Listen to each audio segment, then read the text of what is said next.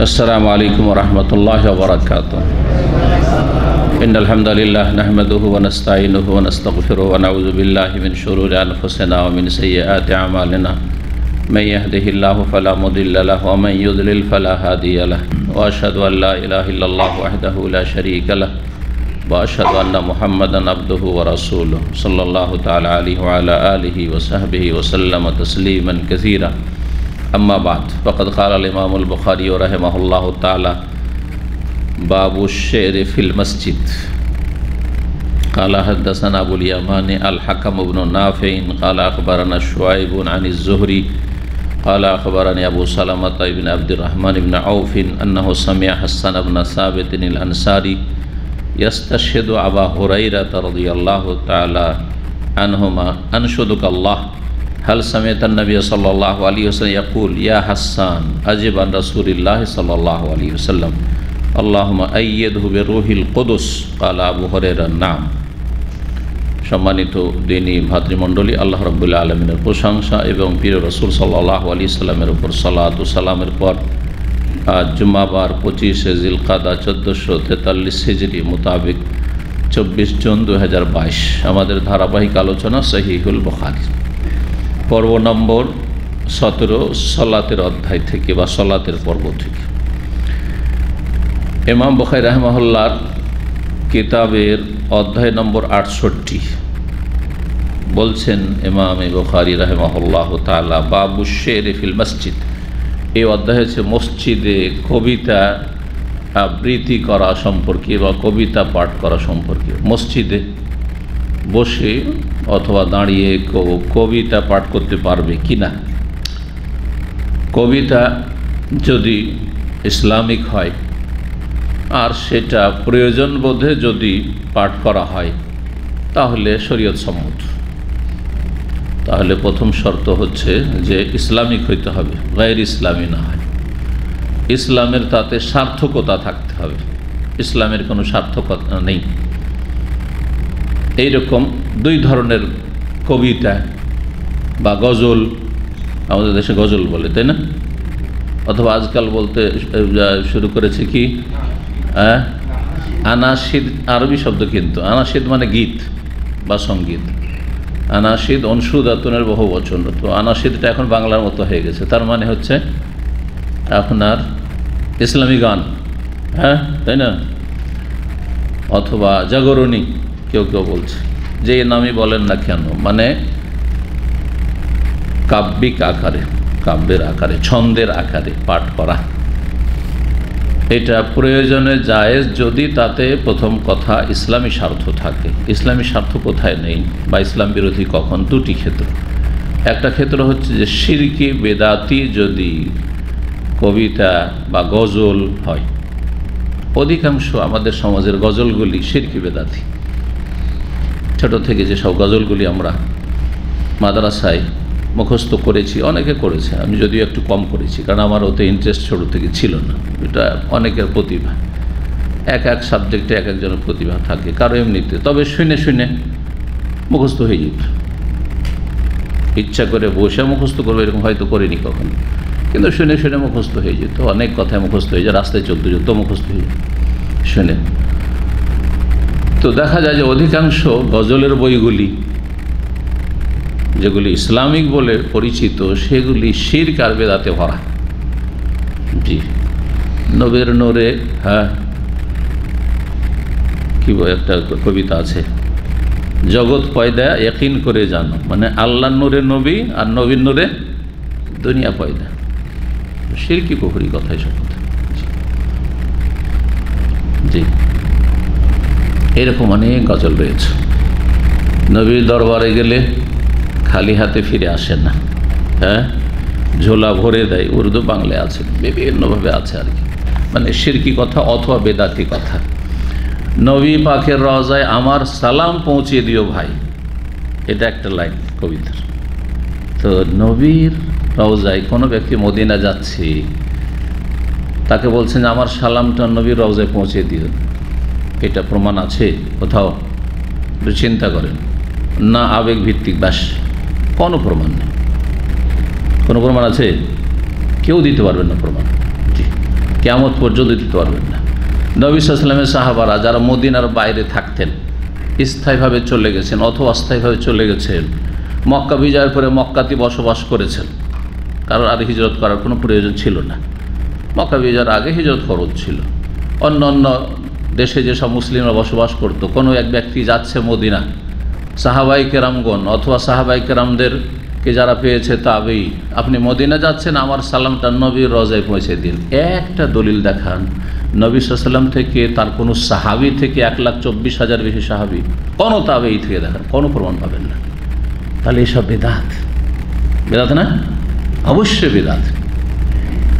এমনকি এই বেদাতগুলি আমাদের দেশের আকিদার শিক্ষায়, তহিদের শিক্ষায় সন্ন্যার শিক্ষা অভাবের কারণে একজন আহলাদিস আলেম হানাফি সমস্ত ব্যাপক হারে, এটাই তাদের শরীয়ত। যে কেউ মদিনা লেখাপড়ার জন্য যাচ্ছে মদিনা হজমরার জন্য যাচ্ছে, আমার সালামটা নবী পাকের রজে পৌঁছে দিয়ে আছে না নেই? আহলাদিস একজন আলেম আমাদের ডিস্ট্রিক্টের আমার এক সঙ্গী মদিনা আমার সাথেই লেখাপড়ার জন্য ওই বছর আসলে উনিশশো উনানব্বইয়ে তখন ওকে বলছে, রাহেমাহল্লাহ তালা দুনিয়াতে চলে গেছেন। হেড মোদার শেখুল হাদিস, বোখারি পড়ায় দীর্ঘদিন পঁচিশ তিরিশ বছর। বলছে যে বাবা, তুমি তো মদিনা যাচ্ছ লেখাপড়ার জন্য, তো তুমি গিয়ে আমার সালামটা নবীর কবর মোবারক পৌঁছে দিই হয়তো নবীর রওজা বলেন না, ওই বেদাতি কথা নেই আহলাদিসের মধ্যে কিন্তু সালামটা পৌঁছে দিন। কোথায় দলিলের? চিন্তা করতে হবে। ভুল ভুল। কেউ আহলাদিস যদি ভুল বলে, তো এটা ঠিক, এটা নয়। ভুল ওইটাই যেটা কোরআন সন্না দ্বারা প্রমাণিত নয়। ভুল সেটাই যেটা রসুর রসুল্লাহ সাল্লাম করেননি, শিখাননি সাহাবাই কেরামরা করেননি। জি, সেটাই ভুল। শরীয়ত হিসাবে সেটা পালন করতে পারেন না। ব্যাপক আকার ধারণ করে আছে। এখান থেকে দামাম থেকে যেতে পারেন না। ভাই, আমি তো অবৈধ আছি, অথবা আমি তার যেতে পারছি না, তো যাও, সালামটা একটু পৌঁছে দিই বেদা সব কথা শের শায়েরিতে বা গজলে আছে। যাই হোক প্রথম শর্ত আসল জায়গায় ফিরে আসি। কি? যে শির্ক বেদাত মুক্ত হইতে হবে। আপনার গজলগুলি বা কবিতাগুলি অথবা আনাসিদ সংগীত, ইসলামী সংগীত নাম দিলে শুধু চলবে না। ইসলামী শিরকি বেদাতি সংগীত। ইসলামী সংগীত ইসলামের নামে রাজনীতি করছে। ইসলাম মানে ক্ষমতা। এইসব সংগীত। না, এইসব সংগীত চলবে না। বেদাতি সংগীত এগুলো। খারেজিদের সংগীত। মানুষের জ্ঞান নেই। হ্যাঁ আর মানুষ না আছে পাঁচক্ত সলাত না আছে ঠিকভাবে ফরজ ওয়াজেব আদায় করা। ইসলামের কোনো জ্ঞান নাই তহিদ সন্ন্যতের আর জেহাদ জেহাদ জেহাদ হ্যাঁ, ডাক দিচ্ছেন কবিতার আকারে। মানুষের রক্তকে টকব করে ফুটিয়ে তুলছেন। এই যে আবেগ নিয়ে খেলা এগুলো খারেজিদের তরিকা খারেজিদের সংগীত। অবস্থা পরিস্থিতি বুঝে আপনার কাজ করতে হবে। যেটা ফরজ সেটা করতে হবে। যেটা ফরজ অজেব অথবা সন্ন্যাস সেটা করতে হবে, যেখানে এই ফরজের কোনো সম্ভাবনা দেখছি না। এখন কেউ যদি বলে যে, আমি বাড়িতে গোলাম রাখব কি বলবেন ওই লোককে? এখনকার জামানায় কি বলবেন ওকে? পাগল বলবেন না? আরে, গোলামি নেই তো। বাস্তবে নেই। বাস্তবে নেই, শরীয়তে আছে ওই রকম পরিস্থিতি তৈরি হল। কিন্তু ওর জন্য এরকম তৈরি করতে পেরেছেন, নিজেরা কারও গোলামি করছেন। নিজেরা অন্যদের গোলামি করছেন, চিন্তা করুন, এই পরিস্থিতিতে পৌঁছে গেছে উম্মাদ মুসলিমার অবস্থা। জি। কোথায় অন্যকে গোলাম বানাবেন আপনি? যেখানে নিজেরাই গোলাম হয়ে আছে। দিন সম্পর্কে জ্ঞান অর্জন করতে হবে। জি। তারপরে কোনো কথা বলতে হবে।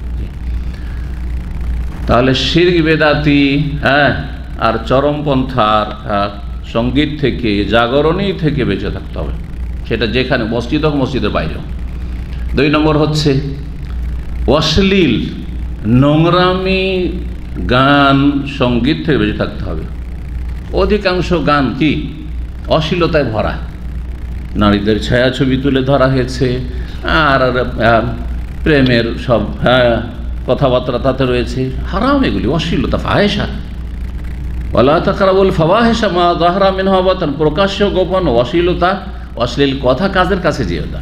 অধিকাংশ গান বাজানে কি আছে? বাজানো তো হারাম, কিন্তু এমনিও গানে, অধিকাংশ গানই হচ্ছে নোংরামি। জি। প্রেমিকার প্রেমিকার কথাবার্তা। জি। যৌন সুরসুরি দেওয়া, হারাম এগুলো। জি। মানুষের যৌন চাহিদাকে ঠান্ডা রেখে বৈধ পথে সেটাকে প্রয়োগ করতে হবে। ঠান্ডা রাখতে হবে। আর যার জায়গা আছে সেখানে ব্যবহার করবে। আর জায়গা নেই, অবিবাহিত, অথবা স্ত্রী নেই সাথে তাহলে যৌন ক্ষুদাকে ঠান্ডা রাখার জন্য ব্যবস্থা করতে হবে। এই না যে জাগিয়ে তুলতে হবে। যাই হোক, এই দুটো যদি না থাকে, তার মানে নিছক ইসলামিক স্বার্থ গঠনমূলক কথা রয়েছে। ইসলাম এবং মুসলিমের ক্ষেত্রে তাহলে প্রয়োজনে মসজিদের ভিতরেও কবিতা আবৃত্তি করা, কবিতা পাঠ করা শের শায়রি করা, যা এটাই প্রমাণ এই হাদিস থেকে দেখুন প্রখ্যাত তাবি ইমাম জহরি রহমাহুল্লাহ তালা বর্ণনা করেছেন আর এক তাবি আবু সালামের আব্দুর রহমান অফ থেকে, আন্নাহু সামিয়া হাস্তান বিন সাবিদ তিনি বিখ্যাত সাহাবি এবং রসুল্লাহ সাল্লামের শায়ের কবি। হাসান বিন সাবেদ আনসারি রাজি আল্লাহ তালানুর কাছে শুনেছেন ইয়াস্তা সেদু আবা হুরাইরা, তিনি সাক্ষী তলব করছিলেন। শাহেদা ইয়াসাদ মানে সাক্ষী দেওয়া আর ইস্তাসাদা বাবে ইস্তেফ আলে যখন যাবে আরবি গ্রামার সার্ফ যারা পড়েছেন, তার মানে কোনো কিছু তলব করা। যেমন নাসারা ইয়ানসরো মানে সাহায্য করা, আর ইস্তান সারা ইয়াস্তান সেরো মানে সাহায্য কামনা করা। গাফারা ফেরো মানে ক্ষমা করা আল্লাহ মাগ ফিরলি তাই না? কিন্তু ইস্তাকফারা ইয়াস্তাক ফেরো ইস্তেকফারান মানে ক্ষমা প্রার্থনা করা, ক্ষমা তলব করা, মাপ চাওয়া। আল্লাহ, মাইনি আস্তাক ফেরোকে আল্লাহ তোমার কাছে ক্ষমা চাইছি। আল্লাহ মাগ ফেরলি আল্লাহ ক্ষমা করে দাও। গাফার একবার ক্ষমা করা আর ইস্তাকফার আস্তাক ক্ষমা তলব করা চাওয়া তো এখানে শাহিদা থেকে ইস্তাসাদা মানে তিনি সাক্ষী তলব করছিলেন, সাক্ষী চাইছিলেন। তুমি সাক্ষী দাও এই বিষয়টাই। এ বিষয় কি করো তুমি? আমার সাপোর্ট করো, সাক্ষ্য প্রদান করা বহরাইরা। আনসদক আল্লাহ তোমাকে আল্লাহর দোহাই দিচ্ছে, আল্লাহর কসম দিচ্ছি। আনসাদা ইনসদক মানে পাঠ করা হয়। আর আনসাদা, এখান থেকে নশিদ আনসাদা ইনসদ মানে যে পাঠ করা, এখান থেকে হচ্ছে নশিদ মানে সংগীত পাঠ। আর আন সাদায়ন শুধু বিল্লা আল্লাহর সাথে মানে আল্লাহর কসম দিচ্ছি। আমরা যে আল্লাহর দোহাই দিয়ে বলছি, এইরকম কথা। হাল সামেতান নবী সাহ তুমি কি নবী সাসনের কাছে শুনেছো? ইয়াকুর বলতে, ইয়া হাসান, আমাকে সম্বোধন করে যে, হে হাসান আজিব আন রাসুল্লাহ সাল্লাহ আলী রসুল্লাহ সাল্লামের পক্ষ থেকে তুমি কাফেরদের প্রতিবাদমূলক জবাব দাও। কাফেররা কাব্য রচনা করে নবী সাল্লাহ আলী সাল্লাম বা ইসলামের বিরুদ্ধে তারা হ্যাঁ কবিতা রচনা করে বলছে হ্যাঁ কোনো বিষয়। রসুল্লাহ সাল্লামের কুৎসা গাইত। রসুল্লাহ সাল্লামের সাহাবাই কুৎসা গাইত কাফেররা। রসুল্লাহ সাল্লামের পরিবারের কুৎসা গাই কুৎসা হ্যাঁ রসুল্লাহ মানহানি করত। তো কাফেররা যুগে যুগে মানহানি করবে। কাফের কাছ থেকে আর বেশি কি আশা করেন আপনি? কি আশা করেন? এল্লা মাশাল্লাহ কিছু নাই পরায়ণ, ভালো মানুষ আছে ইমানের তৌফিক হয়নি। খুব কম তাদের সংখ্যা। ঠিক তো তুমি জবাব দাও রসুল্লাহ পক্ষ থেকে। কার জবাব দাও? কাফেরদের যে হ্যাঁ কাব্য রচনা ইসলামের বিরুদ্ধে, তার জবাব দাও ইসলামের পক্ষ হয়ে। এটা জেহাদ। এটা হচ্ছে জেহাদ। দেখেন, মানুষের প্রকৃতি হচ্ছে যদি কাউকে এমনি বক্তব্যের মাধ্যমে আপনি কোনো কথা বলেন, তার চাইতে বেশি তাসির, প্রতিক্রিয়া কাব্যের আকারে হ্যাঁ ছন্দের আকারে যদি বলেন, তাতে বেশি রয়েছে। আছে না নাই? এই জন্য এমনি আলোচনা শোনার চাইতে যদি ছন্দের আকারে, কবিতার আকারে বলা হয়, তো মানুষকে শুনতে মজা লাগে। এটা প্রকৃতি মানুষের। সে শায়রি শুনতে মজা লাগে। এটার যদি বেশি আসক্ত হয়ে যায়, তখন এমনকি কোরআনে করিম থেকে বিমুখ হয়ে যায়, যার ফলে আপত্তিকর। শের শায়রিতে এমন বেশি এগিয়ে যাওয়া, ডুবে যাওয়া, যে প্রতিদিন নিয়মিত শের শায়রি পছন্দ করে, শোনে তাহলে ওই লোকের ইসলামী বক্তব্য শোনার তৌফিক হবে না, কোরআনে করিম তেলাওয়াতের তৌফিক হবে না, কোরআনে করিমের তেলাওয়াত শোনা বাদ দিয়ে, তেলাওয়াত করা বাদ দিয়ে তখন ওই জাগরণী আর গজল শুনতে থাকবে হ্যাঁ? আনাসির শুনতে থাকবে। এই জন্য আনাসিরদের চর্চা করা আপত্তিকর। আনাসিদের সংগীত, ইসলামী সঙ্গীতের নামে চর্চা করা আপত্তিকর, কারণ এতে কোরআন সন্না থেকে, দিনের এল শিক্ষা থেকে মানুষ দূর হয়ে যাবে। কিন্তু প্রয়োজনে ইসলামের খাতিরে যদি মাঝে মধ্যে পাঠ করা হয়, তাহলে সেটা অনেক সময় প্রয়োজন, প্রশংসনীয়, আর অনেক সময় জায়জ, জি। হাসানকে কি বলেছিলেন? হাসান, তুমি রসুল্লাহ পক্ষ থেকে তুমি প্রতিবাদমূলক জবাব দাও। তারপরে হাসানকে দোয়াও দিয়েছিলেন নবী সাল এটা শুনুনি আবহারেরা মানে আবহারের তাহলে ওই মজলিসে হাজির ছিলেন যখন এটা ঘটে। আল্লাহ আইয়েদ হুবে রুহিল কদুস, আল্লাহ তুমি হাসানকে শক্তিশালী করো। শক্তি যোগান দাও রুহুল কদুস জিব্রাইল আলি দ্বারা। তাহলে জিব্রাইল আলি ইসাল্লামের মাধ্যমে সবচাইতে শ্রেষ্ঠ ফেরিস্তার মাধ্যমে তাকে কি করো? শক্তিশালী করা। তো আল্লাহ রব্বুল আলমিন মমেনকে শক্তিশালী করেন মালাইকার মাধ্যমে, এটা একটা মাসলা জানতে পারলাম। যেমন শক্তিশালী করেন, তেমন হেফাজত করেন, এটাও মনে রাখবেন। এটাও মনে রাখবেন অনেক সময় দুর্ঘটনা ঘটে। ধরেন, আজকাল দুর্ঘটনার মধ্যে হ্যাঁ গাড়ির দুর্ঘটনা বেশি, তাই না? আগুন লেগে যাওয়ার দুর্ঘটনা, পানিতে ডুবে যাওয়ার দুর্ঘটনা হ্যাঁ? বন্যাতে, যাই বন্যা প্লাবিত হচ্ছে, আল্লাহ মুসলিমদের হেফাজত করুন, আল্লাহ কোনা খাতা মাফ করুন, এবং রব্বুল আলমিন মুসলিমদের রহম করুন। তো, এইরকম যখন হয়, আর আল্লাহ কাউকে বাঁচাতে চান, যদি আল্লাহ চান যে তোর হায়াত শেষ তাহলে তো শহীদ হয়ে গেল ভালো মানুষ হইল। ভালো মানুষও পানিতে ডুবে মারা যেতে পারে, আগুনে জ্বলে যেতে পারে। এই নয় যে আগুনে জ্বলে যাচ্ছে, পানিতে ডুবে গেল মানে খারাপ মানুষ কখনো এটা ভাববো না। অনেক আল্লাহর নেক বান্দা, আল্লাহর বলি তাতে ডুবে ধ্বংস হইতে পারে, জ্বলে যেতে পারে, দুর্ঘটনার শিকার হইতে পারে আর শেষ হয়ে যেতে পারে। জি, ছিন্ন ভিন্ন হয়ে যেতে পারে, হইতে পারে। তার মানে নিজে খারাপ লোক ছিল। আল্লাহ রহমান তার জন্য এটা পছন্দ করেছেন কিন্তু যখন আল্লাহ কাউকে রক্ষা করতে চান, তখন আল্লাহর ফেরিস্তা মালাইকা দেখি করেন? শক্তি যোগান দেন, হেফাজতের ব্যবস্থা করেন। এর সাথে মমিন জিনরাও সহযোগিতা করে। এটাও হতে পারে। যেমন আপনার, আমার মমিন ভাইয়েরা হিতাকাঙ্ক্ষী আছে না নেই? মানুষের মধ্যে থেকে মমিন মুসলিম হিতাকাঙ্ক্ষী না? ভালো মানুষ, ভালো মানুষের হিতাকাঙ্ক্ষী। নেক মানুষ, নেক মানুষের হিতাকাঙ্ক্ষী। ভালাই চাই। ঠিক তেমনি নেক সৎ যারা জিন, তারা মমিন, মুসলিম, ভালো মানুষদের হিতাকাঙ্ক্ষী তারাও। সুতরাং যেখানে তারা সাহায্য সহযোগিতা করতে পারবে, সেখানে যেমন বদমাস জিন ক্ষতি করার চেষ্টা করে, ধ্বংস করার চেষ্টা করে, ভালো জিন সাহায্য করার চেষ্টা করে। যদিও তাদের ক্ষমতা সীমিত। আল্লাহ রব্বুল আলমিন তাদের একটা সীমিত ক্ষমতা দিয়েছেন, কিন্তু শারীরিক ক্ষমতার দিক থেকে জিন মানুষের চাইতে বেশি। হ্যাঁ? দ্রুত গতিতে চলাফেরার দিক থেকে দিয়ে মানুষের চাইতে অনেক বেশি তাদের শক্তি ইত্যাদি বিভিন্ন দিক থেকে। যদিও জ্ঞান, বুদ্ধি, বিবেক ইত্যাদির ক্ষেত্রে আল্লাহ সার্বিক দিক থেকে মানুষকে আল্লাহর শ্রেষ্ঠত্ব দান করেছেন। কিন্তু কিছু কিছু শক্তি ক্ষমতা আছে মানুষের চাইতে বেশি অন্য সৃষ্টিকে আল্লাহ দিয়েছেন তার নাই? এটা হিংস্র পশু বাঘ, সিংহ। তার গায়ে শক্তি অনেক মানুষের চাইতে বেশি না, বরং মানুষের চাইতে বেশি কিনা? তাই না? কয়েকটা মানুষকে ফেড়ে খেয়ে নিতে পারে। তার মানেই নয় যে সিংহ আমার চাইতে আপনার চাইতে শ্রেষ্ঠ। তাই না? জি, ঠিক ওটাই জানতে হবে। তো আসল বিষয়ের দিকে ফিরে আসি। জিবরাইল আলহ ইসলামের মাধ্যমে আল্লাহ তুমি হাসানকে কি করো? শক্তিশালী করো। কাল আবহারে তখন আবহারের উত্তরে বললেন, যখন সাক্ষী তলব করেন হাসান বিন সাবেদ নাম হ্যাঁ আমি শুনেছি। আমি সাক্ষী দিচ্ছি আমি এই কথা নবী সালামকে বলতে শুনেছি তোমার ক্ষেত্রে। মানে তোমাকে রসুর উল্লাহ সাল্লাম কী করতে বলেছেন? কবিতা পাঠ করতে হুকুম দিয়েছেন। আর কবিতা পাঠ করে ইসলামের পক্ষ থেকে যে ডিফেন্স করছি প্রতিবাদ করছি বা প্রতিরক্ষার ব্যবস্থা করছি, সেই জন্য তিনি আমাকে দোয়া দিয়েছেন যে আল্লাহ জিব্রাইল আলী ইসলামকে দিয়ে হাসানকে কি করো? মজবুত করো, শক্তিশালী করা। আল্লাহ প্রেক্ষাপট কি হাদিসের? একটা প্রেক্ষাপট আছে।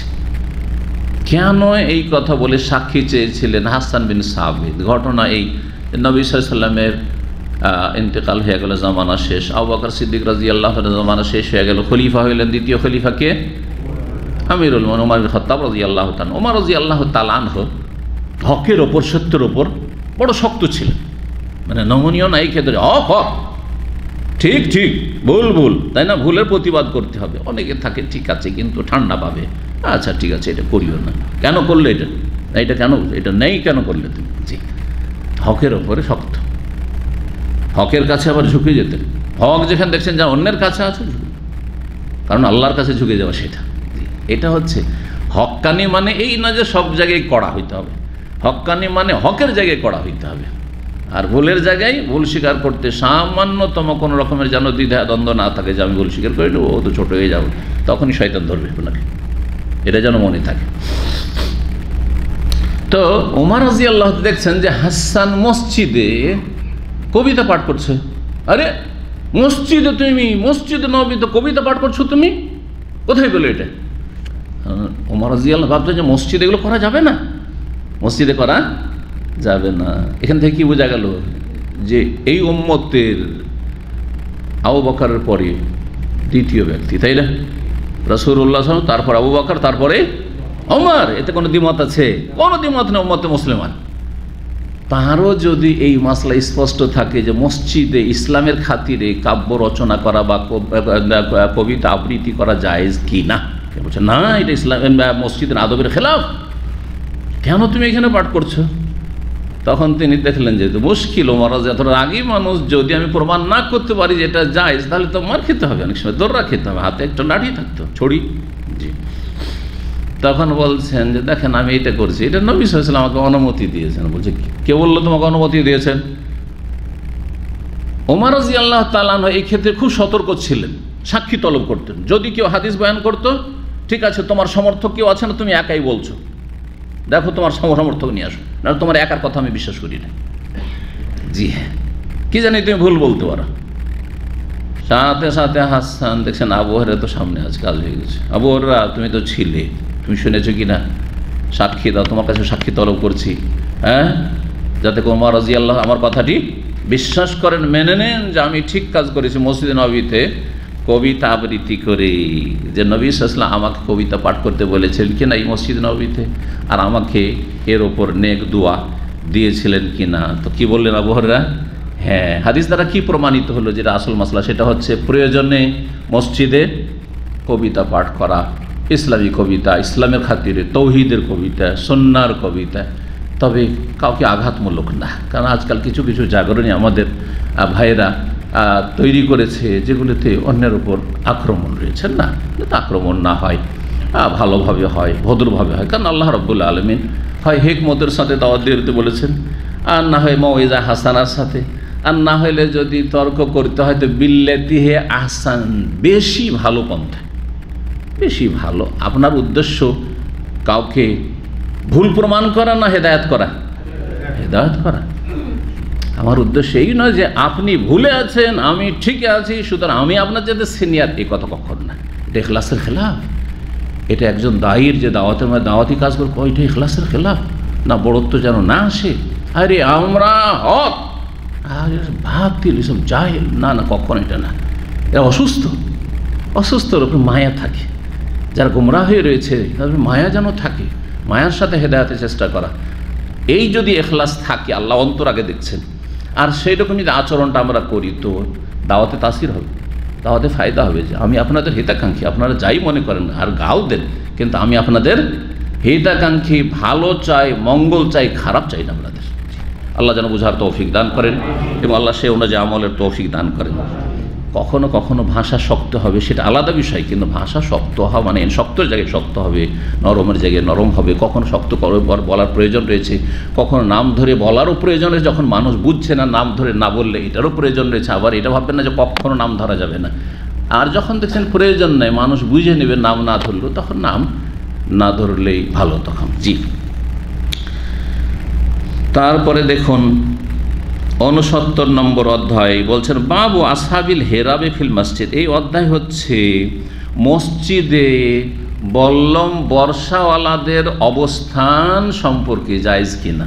মসজিদে বল্লম বর্ষা হাতে নিয়ে কেউ প্রবেশ করতে পারে কিনা? অথবা সেখানে এমনকি এরাকে বলা হয়েছে আসাবুল হেরাব মানে বল্লম বা বর্ষাওয়ালা। বল্লম, বুঝেন তো? বর্ষাওয়ালা। মানে বর্ষা নিয়ে তারা খেলাধুলা করতো। যেমন আমাদের দেশে লাঠি খেলা। শুনেছেন লাঠি খেলা? ছোটোকালে ছোটোকালে লাঠি খেলা। আর বিশেষ করে মহরমের সময় বেদাতিদের লাঠি খেলা। কারণ শিয়াদের দেখা দেখি, শিয়াদের পাশাপাশি আর অনেক শিয়া নবাব ভারত বাংলাদেশ যে অখণ্ড ভারতে ছিল, আর শিয়াদের একটা প্রভাব ছিল। যার ফলে এইসব অনেক যারা নিজেদেরকে সুন্নি বলছে, কিন্তু বিদাতি তারা তারা শিয়াদের অনেক ধর্মকর্ম নিয়ে নিচ্ছে। তার মধ্যে একটা হচ্ছে মহরমের তাজিয়া করা, মহরমের শোক পালন করা, মাতম করা, মহরমে আপনার ধুমধাম করা, অথবা যেটাই করেন না কেন ইত্যাদি ইত্যাদি। এমনকি মহরমে যদি দশে মহরম আশুরা রোজাও রাখে, তো কিসের জন্য ওই বেদাতি ধারণাই যে হোসেন রাজি আল্লাহ তোর শহীদ হয়েছেন, সেই জন্য রোজা রাখছে। এটাও বিধান বরং কি জন্য রোজা রাখছি? যে এই দিনে মৌসা আলি ইসালাম আল্লাহ রসুল আর নবী এবং তার অম্মদ বনি ইসরায়েলকে আল্লাহ বিজয় দান করেছিলেন আর আল্লাহর বড় শত্রু, আল্লাহর দিনের শত্রু, ইসলামের শত্রু, ফেরাউন এবং ফেরাউনের অনুসারী সেনাবাহিনীকে আল্লাহ ধ্বংস করেছেন। সুতরাং এটি হচ্ছে বিজয় দিবস, এটি হচ্ছে খুশির দিবস। সুতরাং সেই দিনে আল্লাহর শুক্রা নাই বিজয় দিবস মানে কোটি কোটি টাকা জাতির সম্পদ নষ্ট করছে, এটা ইসলাম নয়। বিজয় দিবস মানে সেই দিন আল্লাহ শুক্রিয়া আদায় করেছে। আলহামদুলিল্লাহ, আল্লাহ আমাদেরকে বিজয় দান করেছেন। জি, কিন্তু সেটা ইসলামের বিজয় হইতে হবে। তো মসজিদে বল্লম বর্ষা নিয়ে খেলা করা। জি, তো এই হাবাসীরা খেলা করছিল। এই ঘটনা এখানে রয়েছে। চারশো চুয়ান্ন নম্বর হাদিস। ওরাইবিন জুবাইর প্রখ্যাত তাবেই সাহাবির ছিলেন তার মাও সাহাবিয়া আসমা বিন তাবি বাকা বকর মেয়ে, আর বাপ সাহাবি আবদুল্লাহ বিন জুবাইর, প্রখ্যাত আসাম বসর অন্যতম। তিনি তার খালা আয়সারদি আল্লাহ তালানা থেকে বর্ণনা করছেন। তিনি বলেন লাখাত রায় তো রসুল আল্লাহ সাল্লাহ আমি রসুল উল্লাহ সাল্লামকে দেখেছি। কি দেখেছেন? ইয়মান আলা বাবে হুজরাতি, আমি একদিন আমার কক্ষের হুজরা। হুজরা বুঝলেন তো? হ্যাঁ? হুজরা ছোট্ট কক্ষকে বলা হয়, ছোট্ট রুমকে এক একটা করে ছোট্ট কুড়ে ঘরের মধ্যে ছোট্ট ঘর থাকতো। যেই ঘরে একটা বিছানা ফেলে দুইজন শোয়া যাবে। আর ওর মধ্যে তারপরে এত ছোট ছোট কক্ষ ছিল মাহাতুল মমেনিন, আমাদের যে মা যারা নবী সাল্লাহ সহধর্মিনী তাদের, যে সুহান আল্লাহ সেসব বিবরণে বলা হয়েছে। সেই বখারে হাদিস দ্বারাই প্রমাণিত। যে যখন বিছানা বিছিয়ে দিয়ে দুইজন বিছানা দুইজনের বিছিয়ে দেওয়া হইতো, তো আলাদা আরেকটা জায়গায় যে একজন সলাত আদায় করবেন, পুরো সেজদা করে এতটুকু জায়গা থাকতো না। এতটুকু জায়গা থাকতো না। কত ছোট একটা কুড়ে ঘর ছিল। আজকাল ওইরকম ঘর হয়তো নাই কারণ যে দুইজনের বিছানা বিছানার পর একজন আর নামাজ পড়ার জায়গা পাচ্ছে না। চিন্তা করেছেন না করেন নাই? দলিল কি? নবী সাল যখন তাহাজুদ পড়তে, লম্বা তাহাজুদ পড়ে, মায়ের সাথে এত লম্বা হয়তো পড়বেন না, তখন শুয়ে আছেন। আর নবী সাল্লাম হ্যাঁ দীর্ঘ লম্বা তেলাওত করছেন, অতক্ষণ পা গুটিয়ে রাখা, এটাও সম্ভব নয়। তো পা লম্বা করে শুয়ে আছেন। এখান থেকে আটটি মশলা জানলাম যে সামনে যদি কেউ শুয়ে থাকে, ঘুমিয়ে থাকে, তার পেছনে যদি সালাত আদায় করেন যাইজ কিনা? এমনকি মহিলাও যে শুয়ে, আপনার স্ত্রী শুয়ে আছে, আপনার মেয়েরা শুয়ে, তার পেছনে সলাত আদায় করা যাইজ কিনা? যাইজ তারপরে যখন নবী সাহেব সিজদায় যেতেন, তো সিজদা করার জায়গা নেই দাঁড়ার তো জায়গা আছে, কিন্তু সিজদা করার জায়গা নেই, আলাদা জায়গা থাকলে আবার মা এসাকে বলতেন যে তুমি পা হ্যাঁ ই করো, পাটাকে জড়ো করো বা পাটাকে তুমি সংকুচিত করো, আমি সিজদা করি। করতেন? না, জায়গা আছে, রোমের মধ্যে জায়গা আছে, সেখানে নামাজ পড়ি ও লম্বা শুয়ে থাক করতেন না করতেন না। যখন সেজদায় যেতেন, তখন একটু কি করতেন তাকে ইঙ্গিত করতেন একটু তার শরীরে হাত দিয়ে যে কি করতেন? গামাজানি, আমাকে একটু শরীরে একটু চাপ দিতেন, একটু টিপতেন যাতে করে বুঝতে পারি যে এখন নবী সাল্লাম কী করবেন? সেজদায় যাবেন, তখন আমি আমার পা দুটো সম্প্রসারিত না রেখে পা দুটোকে জড়ো করে নিতাম, গুটিয়ে নিতাম। এই ছিল জীবন, কিন্তু সুখের জীবন। তাতে পরিবারে শান্তি ছিল, পরিবারের শান্তি ছিল। আজকাল এত ধন দৌলত এক কখনো অভাব নেই। স্ত্রীকে যথেষ্ট দেওয়া হচ্ছে, খাওয়া, দাওয়া, ভরণ পোষণ। তারপর তালাক আর তালাক তালাক আর তালাক, অশান্তি আর অশান্তি। কেন? খাই খাই খাই খাই, পরিতৃপ্তি নেই। স্বামীকে নিয়ে মহিলা যে অল্পতে পরিতুষ্টি, আলহামদুলিল্লাহ। আর স্মার্টফোন, আজকাল কোনো স্ত্রীকে যদি স্মার্টফোন না দেবো, যে ছোটো ফোন নিয়ে চলো, থাকবে সংসারে, টান দিবে ওই থাকব না তোমার তাই না? চিন্তা করেন আপনি চিন্তা করেন। অথচ এটা বিশ বছর আগে এই নিয়ামত ছিল না। ছোট ফোন ছিল না। বিশটা বছর আগে ছিল না। দুই হাজার পাঁচে প্রথম আমার কাছে ফোন এসছে।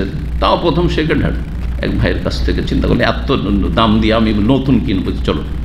তাও সেকেন্ড হ্যান্ডটা কিনেছিলাম ক্যাটেল। ওই যুগে মনে আছে কিনা প্রথম মোবাইল।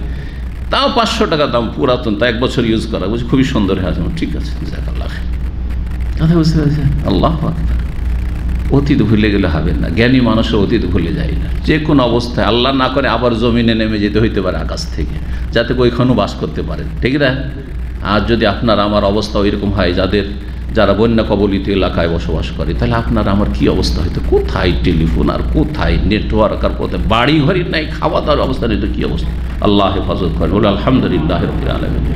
আল্লাহ রব্বুল আলমিন যেন আমাদের নিয়ামতকে কেড়ে না নেন। এবং আল্লাহর নিয়ামতকে ভালো কাজে লাগাবার আল্লাহ তৌফিক দান করেন। আল্লাহ যেন আমাদের গুনাহ থেকে বেঁচে থাকার তৌফিক দান করেন। তো কত শান্তি ছিল সেই সব পরিবারে। তো মায়ে সাদি আল্লাহ তালা বলছেন যে, আমার কক্ষের দরজার সামনে একদিন দেখলাম রসুর উল্লাহ কক্ষের সামনে দাঁড়িয়ে আছেন নবী সাল্লাম যে গেটটি মসজিদ নবীর দিকে আছে। ওয়াল হাবা সাতু ইয়াল ফিল মসজিদ। আর হাবসি কালো লোকেরা আবেসিনিয়া দেশের লোকেরা তারা মসজিদে অস্ত্র নিয়ে খেলা করছিল। হেরাব ছোট বল্লম বা ছোট বর্ষা, এ ধরনের ওই সব নিয়ে খেলা করছিল। যেমন লাঠি খেলা হয়, এরকম বল্লম খেলা চলছিল। নবী সাল্লাম দাঁড়িয়ে আছেন গেটের উপর। মা এসার বয়স অল্প তখন। অল্প বয়স। অল্প বয়সে স্বাভাবিক। অনেক কিছু কৌতূহল থাকে, খেলার মন মানসিকতা থাকে, খেলা দেখার মন মানসিকতা থাকে। এখন আমাদের মন মানসিকতা আর এক একটা ছেলে আঠারো বছর ষোলো বছর আমি যে সমান মনে করেন অনেকে বাপ মনে করে যে আমি যেমন মুরব্বী হয়ে গেছি আমার ছেলে যেন পনেরো বছর বয়স থেকে মুরব্বী হয়ে যায়। চলবে নাকি? আপনি এখন এসে হেদায়ত হয়েছেন ভালো হয়েছেন। আপনি যদি ওই পনেরো ষোলো বছর বয়সে থাকলে কোন মেজাজটা ছিল তখন আপনার ছেলের চাইতে হয়তো আপনার অবস্থা খারাপ ছিল আপনার বাপ মা ভালো তরবিয়ত করেনি। কথা ঠিক কিনা? এগুলো আমাদের চিন্তা করতে হবে। তো আলহামদুলিল্লাহ, যতটা হচ্ছে আল্লাহ শুক্রিয়া আদায় করে এবং চেষ্টা করতে থাকে। ভালো চেষ্টা অবশ্যই করবেন, কিন্তু এই নয় যে এখনই তাকে আমি পনেরো ষোলো বছর আসে যে আমি একে শেখ বানিয়ে দেবো, একে আমি হাজি গাজি বানিয়ে দেবো, আর একে একদম অলিউল্লাহ দেবো। না হ্যাঁ কিছু থাকবে, দুষ্টুমি থাকতে পারে, তার মধ্যে ভালো কতটা আছে, মন্দ কতটা আছে, যেগুলো ভুলভ্রান্তি আছে বা একটু আছে, সেগুলি সংশোধনযোগ্য কিনা। তারপরে সেগুলি কোন পর্যায়ের এটা দেখার বিষয় রয়েছে। আল্লাহ যেন তৌফিক দান করেন আমাদের ছেলে মেয়েদের ভালো তরবিয়তের। মা সারদি আল্লাহ তালানহ দেখার ইচ্ছে, তখন একটু উকি মেরে দেখছেন দেখছেন। যখন দেখতে যাচ্ছেন তো নবী সাহেব বললেন, যে ভালো করে দেখো তাহলে, ভালো করে দেখো। তো নবী সাল্লা সাল্লামের কাঁধে এইখানে মুখটা মানে থুতনি, থুতনিটা লাগিয়ে দিয়ে এখানে কাঁধের ওপর থুতনি লাগিয়ে দিয়ে দেখতে শুরু করলেন। তো যদি দরজা থেকে দেখেন, তাহলে ওইদিকে বেগানা পুরুষদের নজর আসতে পারে। এই জন্য নবী সালামে কী করলেন? ও রসুর উল্লাস ইয়াস্তরণী বেড়ে দায়হি রসুর উল্লাস তার চাদর দিয়ে আমার পর্দা করছিলেন। করছিলেন।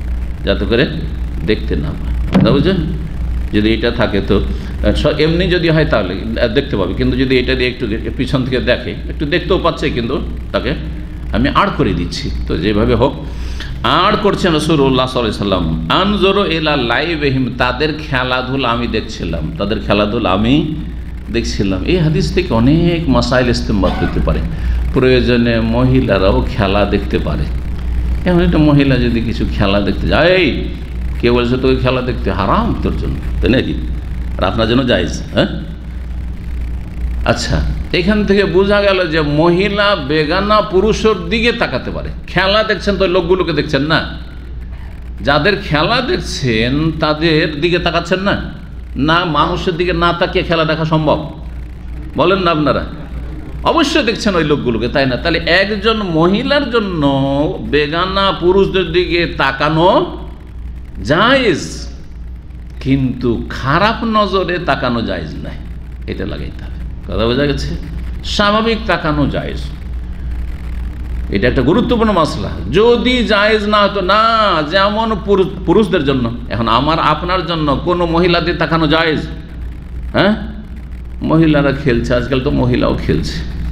মহিলা সেনাবাহিনী, মহিলা স্পোর্টস চলছে, আর আপনি সোশ্যাল মিডিয়াতে দেখছেন। জায়েজ আপনার জন্য? জায়েজ? হারাম। হারাম, জায়েজ নয় মহিলার দেখানো। মহিলার দিকে জায়েজ নয় এই জন্য মহিলার চেহারাকে ঢাকতে বলা হয়েছে। যে ঢাকো জিনা তখন না ইল্লা যেটা অনিচ্ছাকৃত প্রকাশ পেয়ে যায়, হাওয়া বাতাস, একটু কাপড় উড়ে গেল, অথবা ওপরের কাপড়টা, কথা বোঝা গেছে? কিন্তু এই না যে চেহারা খুলে থাকে, মা জাহারা না, চেহারা জাহের করে, চেহারা জাহের হয়ে যায় না। কথা বুঝতে পারছেন? জি, কারণ অনেকে মা জাহারা মেনে তো বলছেন, চেহারা খোলা চলবে। আরে, চেহারা দিয়ে তো আসল পেত না চেহারা ছাড়া আর দেখে কে? মহিলাকে ঢাকতে বলা হয়েছে তোমরা ঢাকো। এবং সাহাবিয়াদগঞ্জ চেহারা ঢেকে একটা চোখ খুলে রাস্তা দেখতেন। রিস দ্বারা প্রমাণিত যখন হেজাবের বিধান নাজল পুরুষদেরকে দেখা মহিলার জন্য যদি নাজাইজ হতো তাহলে আল্লাহ কি হুকুম দিতেন? এই পুরুষরা তোমাদেরকে মহিলারা দেখে তোমরাও ঢাকো। যখন রাস্তাতে দেখো যে মহিলা আসছে তখন ঢেকে আছে নাকি বিধান? নেই ঠিক না? তাহলে বোঝা গেল যে মহিলারা পুরুষের দিকে নজর দিতে পারবে। যখন খেলাধুলা দেখতে পারে, খেলাধুলা যারা করছে যেসব পুরুষ, তাদের দিকে নজর দিতে পারে, তো কোনো বক্তা যদি বক্তব্য করে সরাসরি, আর সেখানে সরাসরি মহিলারা বসে দেখতে পাচ্ছে, আমি মহিলাদের চেহারা দেখি, না হয় বোরকা পরে বসে আছে, না হলে পর্দার আড়ালে বসে আছে, কিন্তু তারা আমাকে দেখছে। এমনভাবে গ্লাস লাগানো আছে যে ওরা দেখতে পায়, আজকাল এমন গ্লাস আছে না নেই? মসজিদে আছে দামামিন মসজিদে। মহিলারা হ্যাঁ মহিলা সেকশন থেকে পুরুষ বক্তাকে বা শিক্ষককে দেখছে প্রফেসরকে দেখছে, কিন্তু প্রফেসর মহিলাদেরকে, মেয়েদেরকে দেখতে পাই না। অথবা টিভির পর্দায় দেখছে হ্যাঁ ইউটিউবে দেখছে, যে ভিডিও দেখছে, অনেক মহিলারা কট্টরপন্থী আজকাল আছে। কিছু একটি ইসলামিক হয়ে বলছেন, না না, আমি ভিডিও শুনি না। ও হারাম করে দিয়েছে। কি শুনি বলছে? আমি অডিও শুনি। ওর কাছে অডিও ছাড়া ভিডিও শোনা? হারাম। তাই যদি হতো তাহলে মহিলাদের মতো পুরুষকে বলা হয়তো কি, এই, তোমাদেরকে মহিলার দেখে নিবে, খবরদার চেহারা রেখে চলো রাস্তাতে। ঠিক কিনা? তাহলে আমাদের নেকাব লাগিয়ে দেওয়া হয়তো কিন্তু আছে শরীয়তে? আশা করি বুঝতে পেরেছেন। তবে কখন নজর দেওয়া যাবে না? এখন বক্তা হচ্ছে স্মার্ট যারা খেলাধুলা করছে, তারা হচ্ছে আইকন কি বলছে আজকাল ওইগুলোকে? হ্যাঁ? আইডল আর এই সব থাক, ওদের ভাষা ওদের কাছে থাক।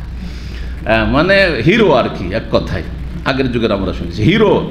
মানে সবাই অনুকরণ করে। আর কত মেয়ে আছে যারা চা- ওকে যদি স্বীকার করতে পেতাম, এই বক্তা, আজকাল যে তরুণ কিছু বক্তা, এগুলো আবার অনেক মহিলাদের জন্য ফেতনা। কথা বুঝতে পেরেছেন না? অনেক মেয়েদের জন্য ফেতনা। কারণ মনে করেছে যে একটা শাইখের যদি বউ হইতে পারি, তাহলে তো সুখী হয়ে গেলাম। তখন ওর পিছে লেগে গেল, ও দেখতে ও কি ভালো লাগে। ওর এলেম থাকা না থাকা, ওর চেহারা দেখে পাগল শুধু ওরই ওয়াজ শুনে। আর ওরই ওয়াজ শেয়ার করে। করে না করে না, অনেক আছে ওইরকম। এটা ফেতনা, তাহলে যাইজ নাই। যখন কোনো মহিলা দেখছে যে আমি অমুকের ভিডিও দেখতে গিয়ে মানে ওকে না দেখে ছাড়া ভালো লাগে না। হ্যাঁ অটোমেটিক্যালি শুরু হয়ে যাচ্ছে হয়তো। ও না দেখলে আর ভালো লাগে না, তাহলে তখন বলব যে না যাইস তাহলে তোমার জন্য ভিডিও শোনা না যাইস কিন্তু যদি দেখেন যে আমি এলেম শেখার জন্য ভিডিও থেকে আলোচনা শুনছি, তাহলে মহিলাদের জন্য পুরুষ বক্তাদের ভিডিও শোনা জায়েজ হ্যাঁ যেটাকে বলা হয়েছে বাদার যা আওলা যায় যদি খেলাধুলা যারা করছে, তাদের দিকে দেখা যদি জায়েজ হয়, তাহলে দিন শেখার জন্য কেন জায়েজ হবে না? কথা বুঝতে পেরেছেন না? জি হ্যাঁ। নবী সাল্লাহ সাল্লাম যখন দিন শিখাতেন সাহাবাই কেরমদেরকে এবং সাহাবিয়াতরাও থাকতেন মসজিদ নবীতে, তারা নবী সাল্লামকে দেখতেন না দেখতেন না? দেখতেন জি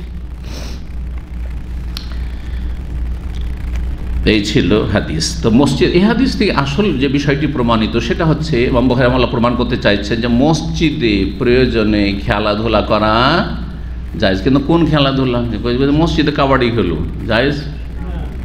আর কোন খেলাগুলো পুরানা নতুন খেলা? ফুটবল খেলব, ভলিবল খেলব হ্যাঁ? কি বলছে এটাকে? হ্যাঁ? ব্যাডমিন ব্যাডমিন্টন খেলব হ্যাঁ? চলবে? না চলবে না। এগুলো খেলা ইসলামের স্বার্থ নাই হয়তো শরীর চর্চা শরীর চর্চা করে, বাইরে করেন। বলে, একটু শরীর চর্চা হচ্ছে। শরীর চর্চা যদি হয়তো বাইরে করেন।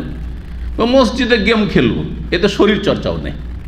আরে, অন্তত ফুটবল, ভলিবল ইত্যাদি আপনার কাবাডি খেলে তো শরীর চর্চা হয়। কিন্তু এই গেম খেলাতে হ্যাঁ শরীর চর্চা নাই, বরং শরীর বরবাদ আছে। কথা ঠিক কিনা? তাহলে মসজিদে বসে বসে গেম খেলা যায়স না যায়স না যায়স জি কোন খেলা চলবে, যেই খেলা ইসলামের স্বার্থ রয়েছে। কারণ আপনি আল্লাহর ঘর, মসজিদে, আপনি খেলাধুলা করছেন অথবা খেলাধুলা অনুমতি দিচ্ছেন। সেই খেলা হচ্ছে যেই খেলার মাধ্যমে জিহাদ হিসাবে আল্লাহর দিনকে শক্তিশালী করার জন্য, আল্লাহর দিনের হেফাজতের জন্য কাজে আসতে পারে। হ্যাঁ। তো এই বল্লম বর্ষা নিয়ে খেলা করা, সেই যুগে যুদ্ধ ছিল, জিহাদ ছিল বল্লমের যুদ্ধ, তরবারির যুদ্ধ, বর্ষার যুদ্ধ, তাই না? সুতরাং এই খেলা, এই খেলার ক্ষেত্রে আপত্তি তুলেছিলেন উমর রাজি আল্লাহ তালান এটা জানলে আরও বেশি স্পষ্ট উমর রাজি আল্লাহ তালান আপত্তি করে ইয়া রসুল আল্লাহ মসজিদে আর এইসব হাবসিরা খেলাধুলা করছে, এটা কেমন কথা? বলে যে, না, তাদেরকে খেলতে দাও, কারণ এই খেলা জেহাদ ফিসাবিল্লাই কাজে আসবে। এই খেলা বদর ওহদে খন্দকে কাজে আসবে। কথা বুঝতে পারছেন না, পারেন নেই?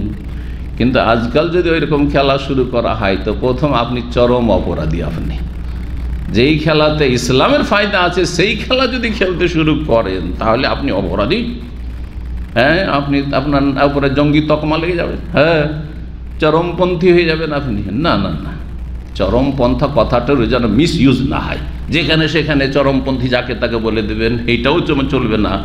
তেমনি যারা আসলে চরমপন্থী আইন কানুনকে নিজের হাতে নিয়ে নেয় তাদেরকে আবার ভালো মানুষ আর তাদেরকে বলবেন যে তারা ইসলামের খাদেম বললেও চলবে না। মধ্যম পন্থা অবলম্বন করতে হবে এই ক্ষেত্রে। আল্লাহ যেন বুঝার তৌফিক দান করেন এবং ফেতনা ফাসাদ থেকে আল্লাহ যেন বেঁচে থাকার তৌফিক দান করেন। চারশো পঞ্চান্ন নম্বর হাদিস ওই হাদিসেরই একটু অংশ যেটাতে মা শরদি আল্লাহ তালা বলছেন কাল তারা আয়তুন নবী আমি নবী সালামকে দেখেছি, ওয়াল হাবাসতি আল আবু নবী হেরাবে হাবসি লোকেরা তাদের বর্ষা নিয়ে, বল্লম নিয়ে মসজিদ তারা খেলাধুলা করছিল। জি। তো মা শরদি আল্লাহ দেখেছেন এবং মসজিদে খেলাধুলা করেছেন, যেমনটা বললাম। সত্তর নম্বর অধ্যায় বলছে, বাবু জিক্রির ভাই অশিরা আলাল মেম্বারে ফিল মসজিদে। এই অধ্যায় হচ্ছে মসজিদের মেম্বারে ক্রয় বিক্রয়ের আলোচনা করা। কিনা বেচা ব্যবসা করা জায়েজ নাই। মসজিদে কেনা বেচা করা নিষেধ। হাদিস রয়েছে এই ক্ষেত্রে। কেউ যদি মসজিদে কোনো কিছু কেনাকাটা করছে আর একজন বিক্রি করছে, তাহলে নবী সালাম কি বলেছেন? নিষেধ করেছেন এক হাদিস আর এক হাদিসে, যদি হাদিসটা সম্পর্কে একটু কালাম আছে, কিন্তু বিষয়টি স্বীকৃত, সেটা হচ্ছে আল্লাহ যেন তোমার ব্যবসা বাণিজ্যে বরকত না দেয়। আর কারও কোনো হারিয়ে যাওয়া বস্তু তোমরা মসজিদে খোঁজ করিও না। মসজিদে গিয়ে বলছে, আমার মোবাইলটা হারিয়ে গেছে ভাই, আপনারা কেউ দশজন পেয়ে থাকলে বলবেন। মসজিদে এইসব এলাম নিষেধ। হ্যাঁ? কিন্তু যদি কোনো ব্যবসা বাণিজ্যের মাসলা মাসাইল আলোচনা করে, এসে মসজিদের খুদবার মেম্বারে হোক, জুমার খুদবাই হোক, ঈদের খুদবাই হোক, বা এমনি বক্তা দার্স দিচ্ছে, আর আজকের বিষয় বিষয় হচ্ছে ব্যবসা বাণিজ্য, তাহলে জায়েজ। বরং প্রয়োজন আছে যে ব্যবসা বাণিজ্য সম্পর্কে জানতে হবে। এই কথাই। তো এখানে আসলে নবী সাল্লাম মেম্বারের ওপর মসজিদে কি করেছেন? হ্যাঁ? ব্যবসা বাণিজ্যের মাসলা মাসাইল আলোচনা করেছেন, যেটা জায়েজ বরং প্রয়োজন হলে, প্রয়োজন জরুরি অনেক সময়। চারশো ছাপ্পান্ন নম্বর হাদিস মায়েস রাজি আল্লাহ তালানা থেকে বর্ণিত। কালা, তিনি বলছেন, আতাথা বারিরাতু। বারিরা নামক এক দাসী বড় সুন্দরী ছিলেন। তার চমৎকার কেসা রয়েছে। বড় সুন্দরী এই দাসী ছিলেন। কিন্তু দাসী ছিলেন কিন্তু দাসী হয়ে গেছিলেন। তো তিনি আসলেন মা এসারাদি আল্লাহ তালার কাছে, কাছাকাছি বাস করতেন তাস আল হাফি কিতাবাতিহা, তিনি যে তার মনিবের সাথে একটা লেখাপড়া বা লিখিত চুক্তি করে নিয়েছিলেন, সে সম্পর্কে কিছু সাহায্য চাওয়ার জন্য। তাস আল্লাহ মানে সাহায্য চাইতে এসেছিলেন। ঘটনা কি? বাড়িরা একজন দাসী ছিলেন। তার মালিক বলল যে দেখো তুমি তো দাসী কিন্তু তুমি যদি এত টাকা দিয়ে দিতে পারো তাহলে তুমি মুক্ত হয়ে যাবে। এটার উপরে যদি একটা চুক্তি হয়ে যায় লিখিত হ্যাঁ, বা মৌখিক যেইটা হোক এটাকে কিতাবা বলা হয়। আর এইরকম দাস দাসীকে মোকাতাব বা মোকাতাবা বলা হয়। যার সাথে কি হয়ে গেছে? লেখাপড়া চুক্তি হয়ে গেছে যে তুমি একবারে অথবা কিস্তিতে এত টাকা দিয়ে দাও ধরেন এক হাজার, দুই হাজার, পাঁচ হাজার দেড়হাম দিয়ে দাও, দিয়ে তুমি মুক্তি লাভ করো। একবারে দিতে পারে, একবারে দশবারে দশবারে কিস্তিতে অসুবিধা নেই। এইরকম প্রচলনটা জাহিলি যুগে ছিল। স্বাধীন হয়ে যাওয়ার পরে, মাসলা একটু বলে দিই তাহলে বলছি স্বাধীন হয়ে যাওয়ার পরে তখন তার ধরেন আত্মীয় স্বজন কেউ নেই। আত্মীয় স্বজন থাকলে তো আত্মীয় স্বজন ওয়ারিস হবে মারা গেলে। ওই যে দাস অথবা দাসী গোলাম, বান্দি, বান্দা বা বান্দি গোলাম যে আজাদ হইল, তার কেউ নেই ওই মনিব ছাড়া মনিব ছাড়া তাহলে এর ধন সম্পদগুলির ওয়ারিস কি হবে? মাসলা হ্যাঁ? কে বলতে পারেন মনিব হবে। যদি মনিবকে এখানে ওয়ারিস না করেন, আর কেউ নেই দুনিয়াতে, কারও মালিকও নেই। ধরেন এমন কোনো মানুষ, স্বাধীন মানুষ, আজকাল তো গোলাম নেই। কেউ নেই, তার বংশধার, আত্মীয় স্বজন কেউ নেই। তাহলে ধন সম্পদ কোথায় যাবে? বাইতুল মাল। আজকালকার সরকার বলবেন না, কারণ সরকার নিয়ে যেত সরকার বাইতুল মাল থাকলে ঠিক আছে। সরকার যদি ইসলামী সরকার আর তার বাইতুল মালের ফান্ড আছে, তাহলে ঠিক আছে। কিন্তু বাইতুল মাল যদি ফান্ড না থাকে, তো আমাদের আজকাল বাইতুল মাল হচ্ছে পাবলিক বাইতুল মাল, সেটা হচ্ছে মসজিদ ভিত্তিক মসজিদে একটা ফান্ড আছে, মাদ্রাসার একটা ফান্ড আছে, ইসলামিক প্রতিষ্ঠান, ইসলামিক সেন্টার আছে, তার একটা ফান্ড আছে ধরে কিন্তু মুসলিম দেশ হলে ঠিক আছে, বাইতুল মাল, যেমন সৌদি আরব বাইতুল মাল আছে, জি। তো বাইতুল মালে জমা হবে। ধন সম্পদ অঢেল থাকতে পারে কোনো মানুষের যার আত্মীয় স্বজন কেউ নেই। আত্মীয় স্বজন কেউ নেই, কিন্তু সে একসময় দাস ছিল বা দাসী ছিল, মুক্ত হয়েছে, তাহলে এই জমি জায়গাগুলো ধন সম্পদ কে ভাগ পাবে? হ্যাঁ ওই মালিক পেয়ে যাবে, মালিক পেয়ে যাবে। মালিক আজাদ করেনি, মালিক লেখাপড়া করেছিল। আর তারপরে অন্য কেউ সেই টাকাটা পেমেন্ট করে দিয়েছে। টাকাটা অন্য কেউ যে কিস্তিতে পেমেন্ট করার কথা ছিল, সেটা অন্য কেউ পেমেন্ট করে দিয়েছে। মালিক কিন্তু এমনিতে ফ্রিতে আজাদ করেন, স্বাধীন করেনি। তাহলে এই ক্ষেত্রে শরীয়তের বিধান কি? আসল মালিক যে পয়সা নিয়েছে, তারপরে ছেড়েছে, সে পাবে ধন সম্পদ? নাকি যেই ব্যক্তি টাকাটা পরিশোধ করে তাকে স্বাধীন করে সে পাবে? যে টাকা পয়সা দিয়ে কি করেছে? স্বাধীন করেছে, সে পাবে। মা এসা রাজি আল্লাহ তালানহার কাছে যখন বাড়ির আসলেন যে, আমি এরকম মালিকের সাথে লেখাপড়া করে নিয়েছি, এত টাকা দিতে পারলে আমাকে ছেড়ে দেবে, স্বাধীন করে দেবে। তো একটু আমাকে সাহায্য করে না কিছু টাকা আর্থিক তাহলে আমি টাকাটা দিয়ে দিতে পারলে আমি স্বাধীন হয়ে যাব আল্লাহ আল্লাহর বদবন্দিকে স্বাধীন হয়ে পড়ব। কেন বা কারও বাড়িতে আমি চাকরানি হয়ে থাকব এরকম। তো বললেন যে কাজ করো, তাহলে এমনি তোমাকে অল্প স্বল্প এরকম কিছু সাহায্য না করে তোমার যত টাকা চুক্তি হয়েছে মালিকের সাথে, সবটাই আমি দিয়ে দিচ্ছি, সবটাই আমি দিয়ে দিচ্ছি। আর তারপরে তুমি পুরো স্বাধীন হয়ে যাও, আমি স্বাধীন করে দিচ্ছি। আর শর্ত হচ্ছে, আর শরীয়তের বিধান হচ্ছে যে ওয়ালা, এটাকে কি বলা হয়? যে মালিক যেই ব্যক্তি ধন সম্পদের কি অধিকারী হবে, ওয়ারিস হবে, এই ওয়ালা সূত্রে, স্বাধীন করার সূত্রে সেটা আমার হক সেটা হচ্ছে আমার হক। কারণ আমি তোমাকে কি করছি? টাকা পয়সা দিয়ে স্বাধীন করে দিচ্ছি। জাহিলিয়াতের যুগে প্রথা কী ছিল? জাহিলিয়াতের যুগে যারা আসল মালিক, তারাই ধন সম্পদের ভাগ পাবে। আসল মালিক যারা, তারাই ধন সম্পদের ভাগ পাবে। সেই অনুযায়ী বাড়ির মালিককে গিয়ে যখন বললেন বাড়ির রাজি আল্লাহ তালান হাতির মুসলিমা ছিলেন তো বলছেন না না, ঠিক আছে। আয়েশা রাজি আল্লাহ তালান বা কেউ তোমাকে যদি টাকা পয়সাতে স্বাধীন করে, করুক নেকির জন্য করুক। কিন্তু তুমি মারা গেলে ওয়ালার যে হকটা রয়েছে মানে যে ধন সম্পদের ওয়ারিস আমরা হব কিন্তু। কারণ আসল মালিক আমরা সেই জন্য। কথা বুঝছেন না? এটা জাহিলি তরিকা ছিল। ইসলাম এই তরিকাকে বাতিল ঘোষণা করে। কারণ তোমাদের কোনো এহসান অবদান নেই। কোন অনুগ্রহ আছে? পয়সা নিয়ে তুমি সারলে, তাই না? তো যেই ব্যক্তি পয়সা দিয়ে তোমাকে স্বাধীন করল, সে এই ওয়ালার হক পাবে, অর্থাৎ উত্তরাধিকারী হবে। তো মা মায়েশা রাজি আল্লাহ তার কথা ছিল হক, আর বাড়িরার যে আসল মালিকরা তাদের কথা ছিল ভুল। ইসলাম বিরোধী। নবী করিম সাল্লাম বিষয়টি জানতে পারলেন। বাড়িরা যেই ঘটনাটি চমৎকার ঘটনা, সেটা এখন যায়নি, সেটা হাদিসে আসেনি, একটু বলেনি ভালো লাগবে আপনাদেরকে। বাড়ি রাজি আল্লাহ তালা তখন বিবাহিত অলরেডি বিবাহিত, যুবতী এবং খুব সুন্দরী ছিলেন, বিবাহিতা ছিলেন। তার স্বামীর নাম ছিল মগিস।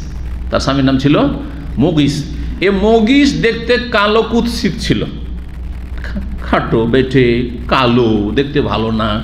আর বাড়িরা একেবারে সুশ্রী চন্দরী। বাণীরা যখন স্বাধীন হইলেন, আজাদ হয়ে গেলেন, তখন বলছেন না, আমি আর তারপর দাস, শুধু কালো না আর কুৎসিত না, তার সাথে দাস, কারণ বাড়িরা দাসী, কারও, আর মগিস কারও দাস। এই দাস, দাসীর সাথে বিয়ে হয়েছিল। ইসলামে আরেকটি বিধান হচ্ছে, কেউ যদি দাসত্ব থেকে মুক্ত কোনো মেয়ে যদি দাসত্ব থেকে মুক্ত হয়, আর তার আগে স্বামী তার কে থাকে? দাস থাকে, তাহলে দাসের অধীনে সে থাকতে বাধ্য নয়। সে যদি মনে করে যে আমি এখন থাকব না, কারণ আমি স্বাধীন হয়ে গেছি, একটা স্বাধীন মানুষকে বিয়ে করব। তাহলে এই অধিকার তার পুরো রয়েছে। কথা বুঝতে পারছেন? সুতরাং বারিয়া রাজি আল্লাহ যখন স্বাধীন হয়ে গেলেন, তাহলে কি হক হাসিল করলেন? যে এ কুৎসিতের কাছে আর গোলাম, আর আমি স্বাধীন হয়ে গেলাম, আমি একটা সুন্দরী রমণী, যুবতী, ভালো একজন স্বামী পেয়ে যাব স্বাধীন, আমি কেন এর কাছে থাকব? জি হ্যাঁ যেহেতু আল্লাহ কে দিয়েছেন? এখতিয়ার দিয়েছেন। তখন বলছে, আমি থাকব না তোমার কাছে। বাড়িরাকে এত ভালোবাসত মগিস, এত ভালোবাসত যে ও ছাড়বে না। বাড়িরা বাড়ি থেকে চলে এসছে আর ও মগিস পিছনে পিছনে কান্না করছে। আর পিছনে পিছনে ছুটছে বেচারা। কান্না করছে।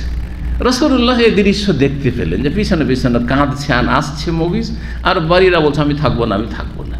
চলে আসছে বেরিয়ে জানতে পারলেন, জানার পরে বললেন যে, কী ব্যাপার, ঘটনা এইরকম? তো রসুল্লাহ বলেন যে, বাড়িরা, তুমি যদি মগিসের কাছে ফিরে যেতে, তো ভালোই হতো। মগিসের কাছে যদি থাকতে, যাই আছে যদি মনে করো আমার স্বামী অযোগ্য দাস, তারপর আমি থাকব। থাকব তো যাই আছে। বলছি তুমি যদি মগিসের কাছে থেকে যেতে, তো ভালো হইতো। তখন বাড়ি রাজি আল্লাহ কি বলেছিলেন? কার ঘটনা জানা আছে? কি বলেছিলেন? জানেন না। বলেছিলেন যে, ইয়া রাসূল আল্লাহ আপনি এটা হুকুম করছেন না, আমার কাছে সুপারিশ করছেন? হুকুম করছেন না, সুপারিশ করছেন। হুকুম হইলে রসুল শাসনের হুকুম, সুতরাং মেনে নেওয়া ফরজ, তাহলে মেনে নেব, সিন্নত করে। আর যদি বলেন যে আমি সুপারিশ করছি, তাহলে ইয়া রসুল আল্লাহ আমি এটা পারছি না, কারণ আমি ওর রুচি হয় না ওর সাথে আমার, আমি থাকব না ওর সাথে। আমি ওর সাথে থাকব না, জি। তো নবী বলছেন, না না বা লাশফা আমি সুপারিশ করছি। আমি হুকুম করি, আর শরীয়তের কোনো হুকুম না, কারণ শরীয়ত আল্লাহ তোমাকে পুরো ইখতিয়ার স্বাধীনতা দিয়েছে, আলাদা হয়ে যাওয়ার হ্যাঁ তার থেকে জুদা হওয়ার বা তালাক নিয়ে নেওয়ার। তো তখন বাড়ি রাজি আল্লাহ বলে ফালাইয়ে যান তাহলে আমি এটা মানতে পারছি না। তাহলে এটা আমি করতে পারছি না। জি। বেচারা কান্না করতেই থাকল। জি। তো অনেক সময় মহিলা পুরুষের জন্য কান্না করে, আর অনেক সময় পুরুষ মহিলার জন্য কান্না করে। এটা কোনো নতুন কথা নয়, খুব পুরাতন কথা। হতে পারে। তো আল্লাহ হেফাজত করুন। আয়েশা রাজি আল্লাহ তালা বলে হচ্ছেন বাড়িতে আসলেন তা সালফিকে তাবেতে টাকা পয়সা সাহায্য চাওয়ার জন্য। যে আমি লেখাপড়া করেছি, তো টাকাটা যদি একটু সাহায্য করতেন, তাহলে আমি পেমেন্ট করতে পারতাম। ফাঁকা আল্লাহ তখন বললেন, মা আয়েশা, ইন সেতে আতাই তো আহ্লাকে, তুমি যদি চাও, তো তোমার যে পরিবার রয়েছে মানে মনিবরা রয়েছে, তাদেরকে আমি পুরো টাকাটা দিয়ে দেবো। ওয়া ওয়াকুন ওয়ালা ওলি ওয়ালার অধিকার আমার থাকবে। কারণ শরীয়তের বিধান হচ্ছে যে, আমি যেহেতু স্বাধীন করছি, আমার অনুগ্রহ তোমার ওপর তোমার ধন সম্পদের ভাগ আমি পাবো, তোমার যেহেতু কেউ নেই। ওকাল আহলোহা, কিন্তু বাড়ির আর পরিবার মানে মনিবের মনিবরা কি বলল? ইনসেতে আতাইতে হামা বাকিয়া। মা রাজি আল্লাহ তালা বললেন, আপনি যদি চান, তাহলে কিছু টাকা সে পেমেন্ট করেছে কিস্তি, আর বাকিটা যদি দেন, আল্লাহর অস্তে দেন আপনি। আল্লাহর অস্তে দেন। কিন্তু আপনি ওয়ালা পাবেন না, আমরা জমি জায়গায় ভাগ পাবো। ধন সম্পদ যা আছে, বাড়িরা যা কিছু হবে হ্যাঁ তার ইন্তেকালের সময় সব আমরা পাবো, এই অধিকার আমাদের। ওয়া কোন ওয়ালা উল্লানা হ্যাঁ মা বাকি কালা সুফিয়ান সুফিয়ান, সৌরি, আবার অন্য রেওয়ায়তে বলেছে ইনশেতে আতেহা মা এসাকে সম্বোধন করে বলছেন, ওই পরিবারের লোকেরা, মনিবেরা, যে আপনি যদি চান তো স্বাধীন করেন, আল্লাহর জন্য করেন। ওয়া কোন ওয়ালা ওল্লা না কিন্তু ওয়ালার হক আমাদের থাকবে। এটা তাদের অন্যায় দাবি দেওয়া ছিল, অন্যায় দাবি দেওয়া ছিল। তখন নবী করিম সাল্লাহ হ্যাঁ। ফালাম্মা যা রসুল্লাহ হাসান মা ইসরাদি আল্লাহ তালানহার সাথে এতটুকু কথাবার্তা হইল বাড়িরার এবং বাড়িরার যে পরিবার মানে মনিব, তার সাথে এরকম কথা হইল। তার মাঝেই রসুল্লাহ হাসান বাড়িতে এসেছেন।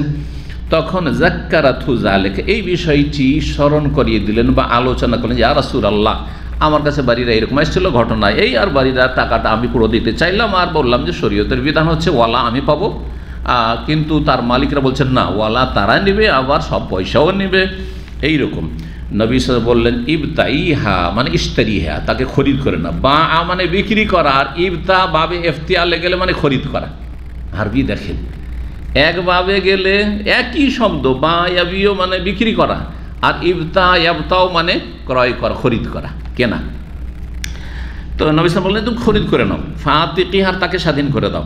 ফাইনাল ওয়ালা আল্লেমান আতাকা শরীয়তের বিধান হচ্ছে ওয়ালার অধিকার ওর যেই ব্যক্তি স্বাধীন করবে। তুমি স্বাধীন করছ সুতরাং ওয়ালা তুমি পাবে ওরা পাবে না। ওলা বুঝেছেন তো? ওয়ালা কোনো হ্যাঁ, ধন সম্পদের নাম। ওয়ালা হচ্ছে এমন একটি অধিকার সেটি হচ্ছে স্বাধীন করার অনুগ্রহের কারণে এই অধিকার সাব্যস্ত হয়। যে অধিকারের ভিত্তিতে যেই ব্যক্তিকে স্বাধীন করা হয়েছে, তার নিকটাত্মিক ওয়ারেসিন না থাকলে সেই ব্যক্তি ইন্তেকালের সময় বা ওই দাস দাসী যে ছিল, তার ইন্তেকালের সময় কি হবে? যা কিছু ধন সম্পদ থাকবে তার, সমস্ত সে পাবে। জি। এটা হচ্ছে ওলা ওলার সম্পর্ক। জি। অভিভাবকত্বের সম্পর্ক বলা যেতে পারে এই ক্ষেত্রে। জি। সোম্মা কামার সৌরুল্লাহ আল মেম্বারে তাহলে বিষয়টিকে ক্লিয়ার করতে হবে, কারণ মালিকরা তো অন্য বুঝা বসে আছে। নবী স্যার বলে, তুমি কিনে নাও? তখন দেখা যাচ্ছে, কারণ আসল যেটা মানতে হবে শরীয়ত তারা মুসলিম। তো রসুল্লাহ সাল্লাম মেম্বারে দাঁড়ালেন। তার নবী সাল্লাম যে কোনো প্রয়োজনে মেম্বারে উঠে উঁচা জায়গা থেকে বক্তব্য করতেন। এটি জুমারও খুদবা ছিল না, আর ঈদেরও খুদবা ছিল না, এমনি বক্তব্য ছিল। কালা সুফিয়ান মারাফা সাইদা রসুল্লাহ কোনো যাতে কামা রয়েছে, কোনো জায়গায় সাইদা রসুল্লাহ রসুল্লাহ সাল্লাম আরোহণ করলেন মেম্বার ফাকাল মা বাল আকওয়ামিন এইসব লোকের কি হয়ে গেছে? কিছু মানুষের কি যে হয়েছে? ইয়াস্তারিতুনা শুরুতান এমন এমন শর্ত লাগাই লাইসাফি কিতাবিল্লাহ, যেই শর্তগুলি আল্লাহর কিতাবে নেই। কোন ভঙ্গিমায় বললেন রসুল্লাহ সাল্লাম কিছু মানুষের কি যে হয়েছে তারা এরকমটা করে। কথা বোঝা গেছে? তার মানে নাম ধরলেন না। বিনা নামে যদি সংশোধন হয়, একটু আগে মাসলা বললাম না? বিনা নামে যদি সংশোধন হয়, তাহলে নাম ধরার প্রয়োজন নেই, কারণ সেখানে মানহানির সম্ভাবনা বেশি রয়েছে। মানহানির সম্ভাবনা বেশি রয়েছে। কিন্তু জাতি বুঝছে না। নাম না ধরলে বুঝবেই না। মনে করছে যে কোন ওই অন্য দেশের কথা বলছে, অন্য বিষয়ের কথা বলছে। ও, শিরিক নিয়ে যদি কেউ আলোচনা করে, একটা গুরুত্বপূর্ণ বিষয় বলি। শিরিক নিয়ে খালি সেরেক সেরেক সেরেক বেদাত সেরেক বেদাত। কিন্তু আমাদের সমাজে যে সুফি ইজম বেদাত এবং সুফি ইজমের আকিদাতে শিরিক আছে, এই কথা না বললে মানুষ বুঝবে না। মানুষ আমাদের দেশের জাতি কি বুঝে? শিরিক মানে হিন্দুদের শেরিক। তাই না? ইহুদি খ্রিস্টানদের শেরিক। মুসলিম শিরিক করে কিসের? মুসলিম মাজারে সেজদা করলে বলছে, আল্লাহর কাজ করছে, আল্লাহর দিনের কাজ করছে। ঠিক কিনা? তাহলে বলতে হবে যে মাজার পূজা শিরিক। মেলাদ করা বেদাত। যারা মেলাদ করে প্রয়োজনে নাম ধরতে হবে।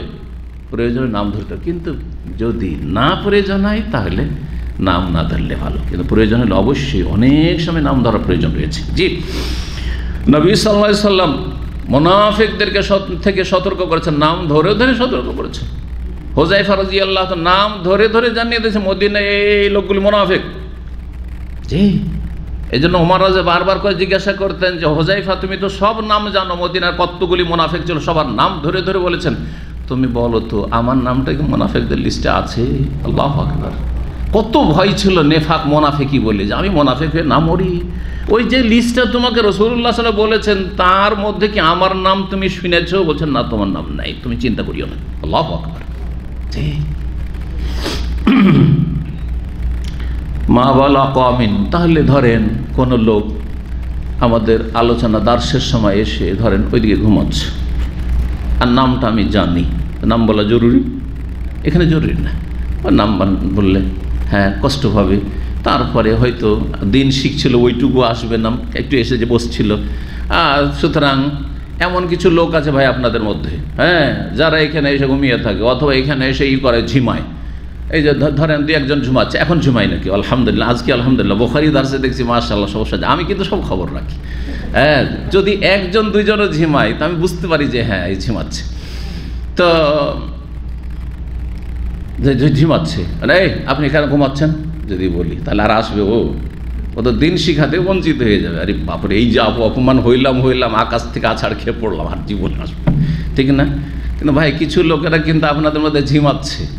সতর্ক, সাবধান হয়ে যাবে। যার মধ্যে দুর্বলতা আছে, বুঝে গেছে। তাই না? জি হ্যাঁ। তো, তাই করলেন নবী সাল্লাহ আলি সাল্লাম। কিছু লোক রয়েছে। মা বাল কমেন কিছু লোকের কি যে হয়েছে? ইয়স্তারিত না শুরুতান, এমন এমন শর্ত লাগে যেটি আল্লাহর কিতাবে নেই। মানিস তারা তার সারতান কেউ যদি এমন কোনো শর্ত লাগায় লাইসাফি কিতাবিল্লা যা আল্লাহর কিতাবে আল্লাহর বিধানে নেই। ফালে, আল্লাহর কিতাব মানে শুধু কোরআন নেই, আল্লাহর বিধানে। কারণ ওয়াল্লার বিষয় তো কোরআনে নেই। তাহলে বোঝা গেল যে সবসময় কিতাবুল্লাহ মানে কোরআন নাই, কিতাবুল্লাহ মানে হকমুল্লাহ। কিতাবুল্লাহ মানে হকমুল্লাহ জি আল্লাহ রাবুল আলমিন সুরা তবাতে বলেছেন, বারো মাস সম্পর্কে। যেহেতু জিল কাজিল মাস চলছে, হারামের মাস। ইন্না ইদ্দাত শহুরে ইন্দাল্লাহ ইসনা আশারা শাহরান ফি কিতাবিল্লাহি। ফি কিতাবে, আল্লাহর কিতাবে। আল্লাহর কিতাবে কোথাও মহরম, সফর রবিউল্লাহ রবিউসানি আছে নাকি? কোথাও তো নেই। আছে? কিসে আছে? আল্লাহর বিধানে আছে। আল্লাহর বিধানে আছে। আল্লাহর সৃষ্টিগত বিধানে আছে, তারপরে হাদিস আছে।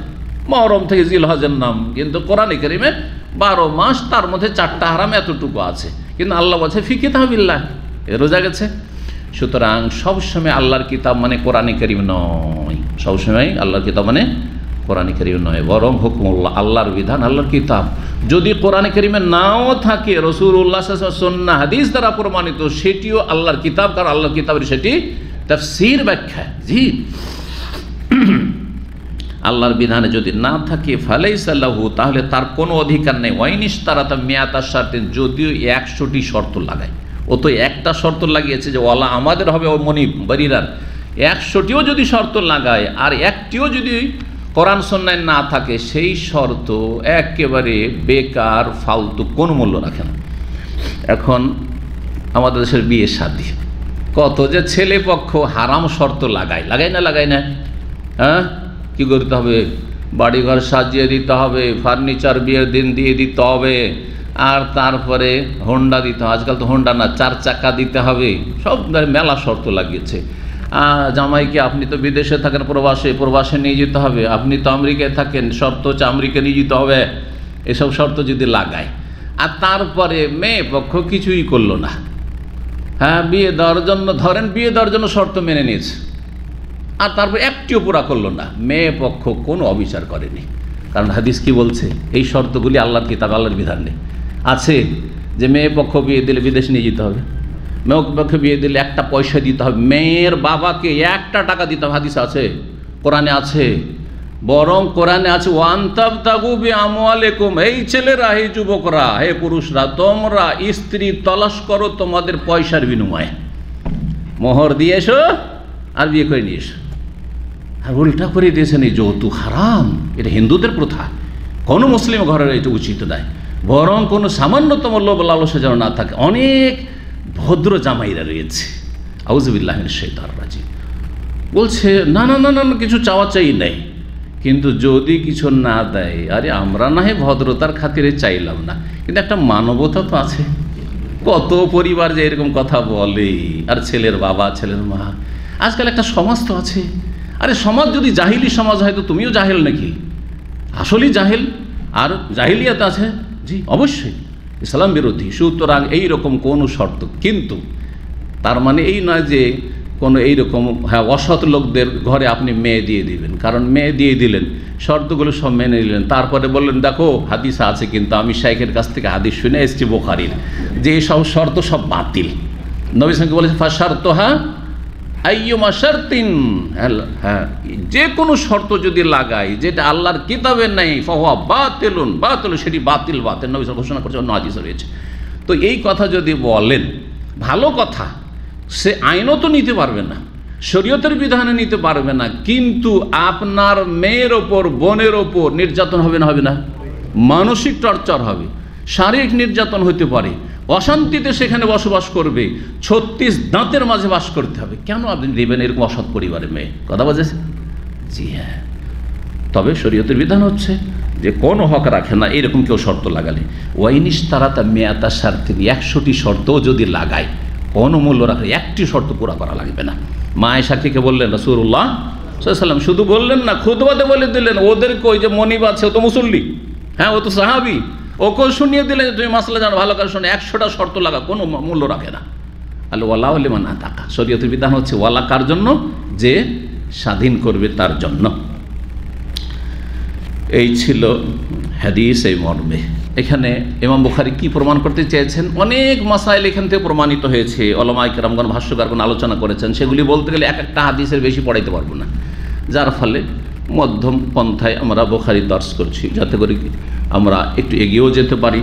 আর তার সাথে কিছু কিছু মাসাইল আমরা জানতে পারি। কিন্তু যত গভীরে যাবেন, এই এই হাদিস থেকে এ বারিরার হাদিস থেকে এমাম হাফেজ হাজার রহমতুল্লাহ আল্লাহ একশোর বেশি মাসাইল ইস্তেমাত করেছেন। একশোর বেশি মাসাইল ইস্তেমাত করেছেন। অবাক হয়ে যাবেন আপনি। জি হ্যাঁ।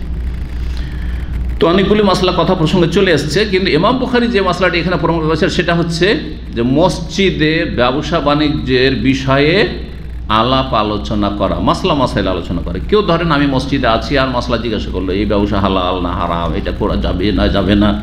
আপনার কি পরামর্শ এই ব্যবসা সম্পর্কে? জায়েজ। কিন্তু কেনা বেচা, জায়েজ? না, কেনা বেচা করা জায়েজ নাই একাত্তর নম্বর অধ্যায় বলছে, বাবু তাকাজি ওয়াল মোলাজামা ফিল মসজিদে। এই অধ্যায় হচ্ছে মসজিদে তাগাদা করা। তাগাদা, বলেন তো আপনারা। কিসের তাগাদা করে? পাওনার তাগাদা, টাকা পয়সা কারও কাছে পাবেন, কি করছেন? আমরা বলি তাগাদা বাংলায়, আর ওইটি আরবিতে হচ্ছে তাকাদা या তাকাদা। আর দদকে, দদ পড়ে হোক বাঁশ, সুতরাং জদটা কি হয়ে গেছে গিয়ে? দ হয়ে গেছে, তো তাগাদা হয়ে গেছে। তাগাদার জায়গায় কি হয়ে গেছে? তাকাদা হয়ে গেছে। তাহলে বোঝা গেল যে তাগাদা শব্দটি বাংলাতে যে এসেছে, সেটা আরবি শব্দ। মূলত কি সেটা?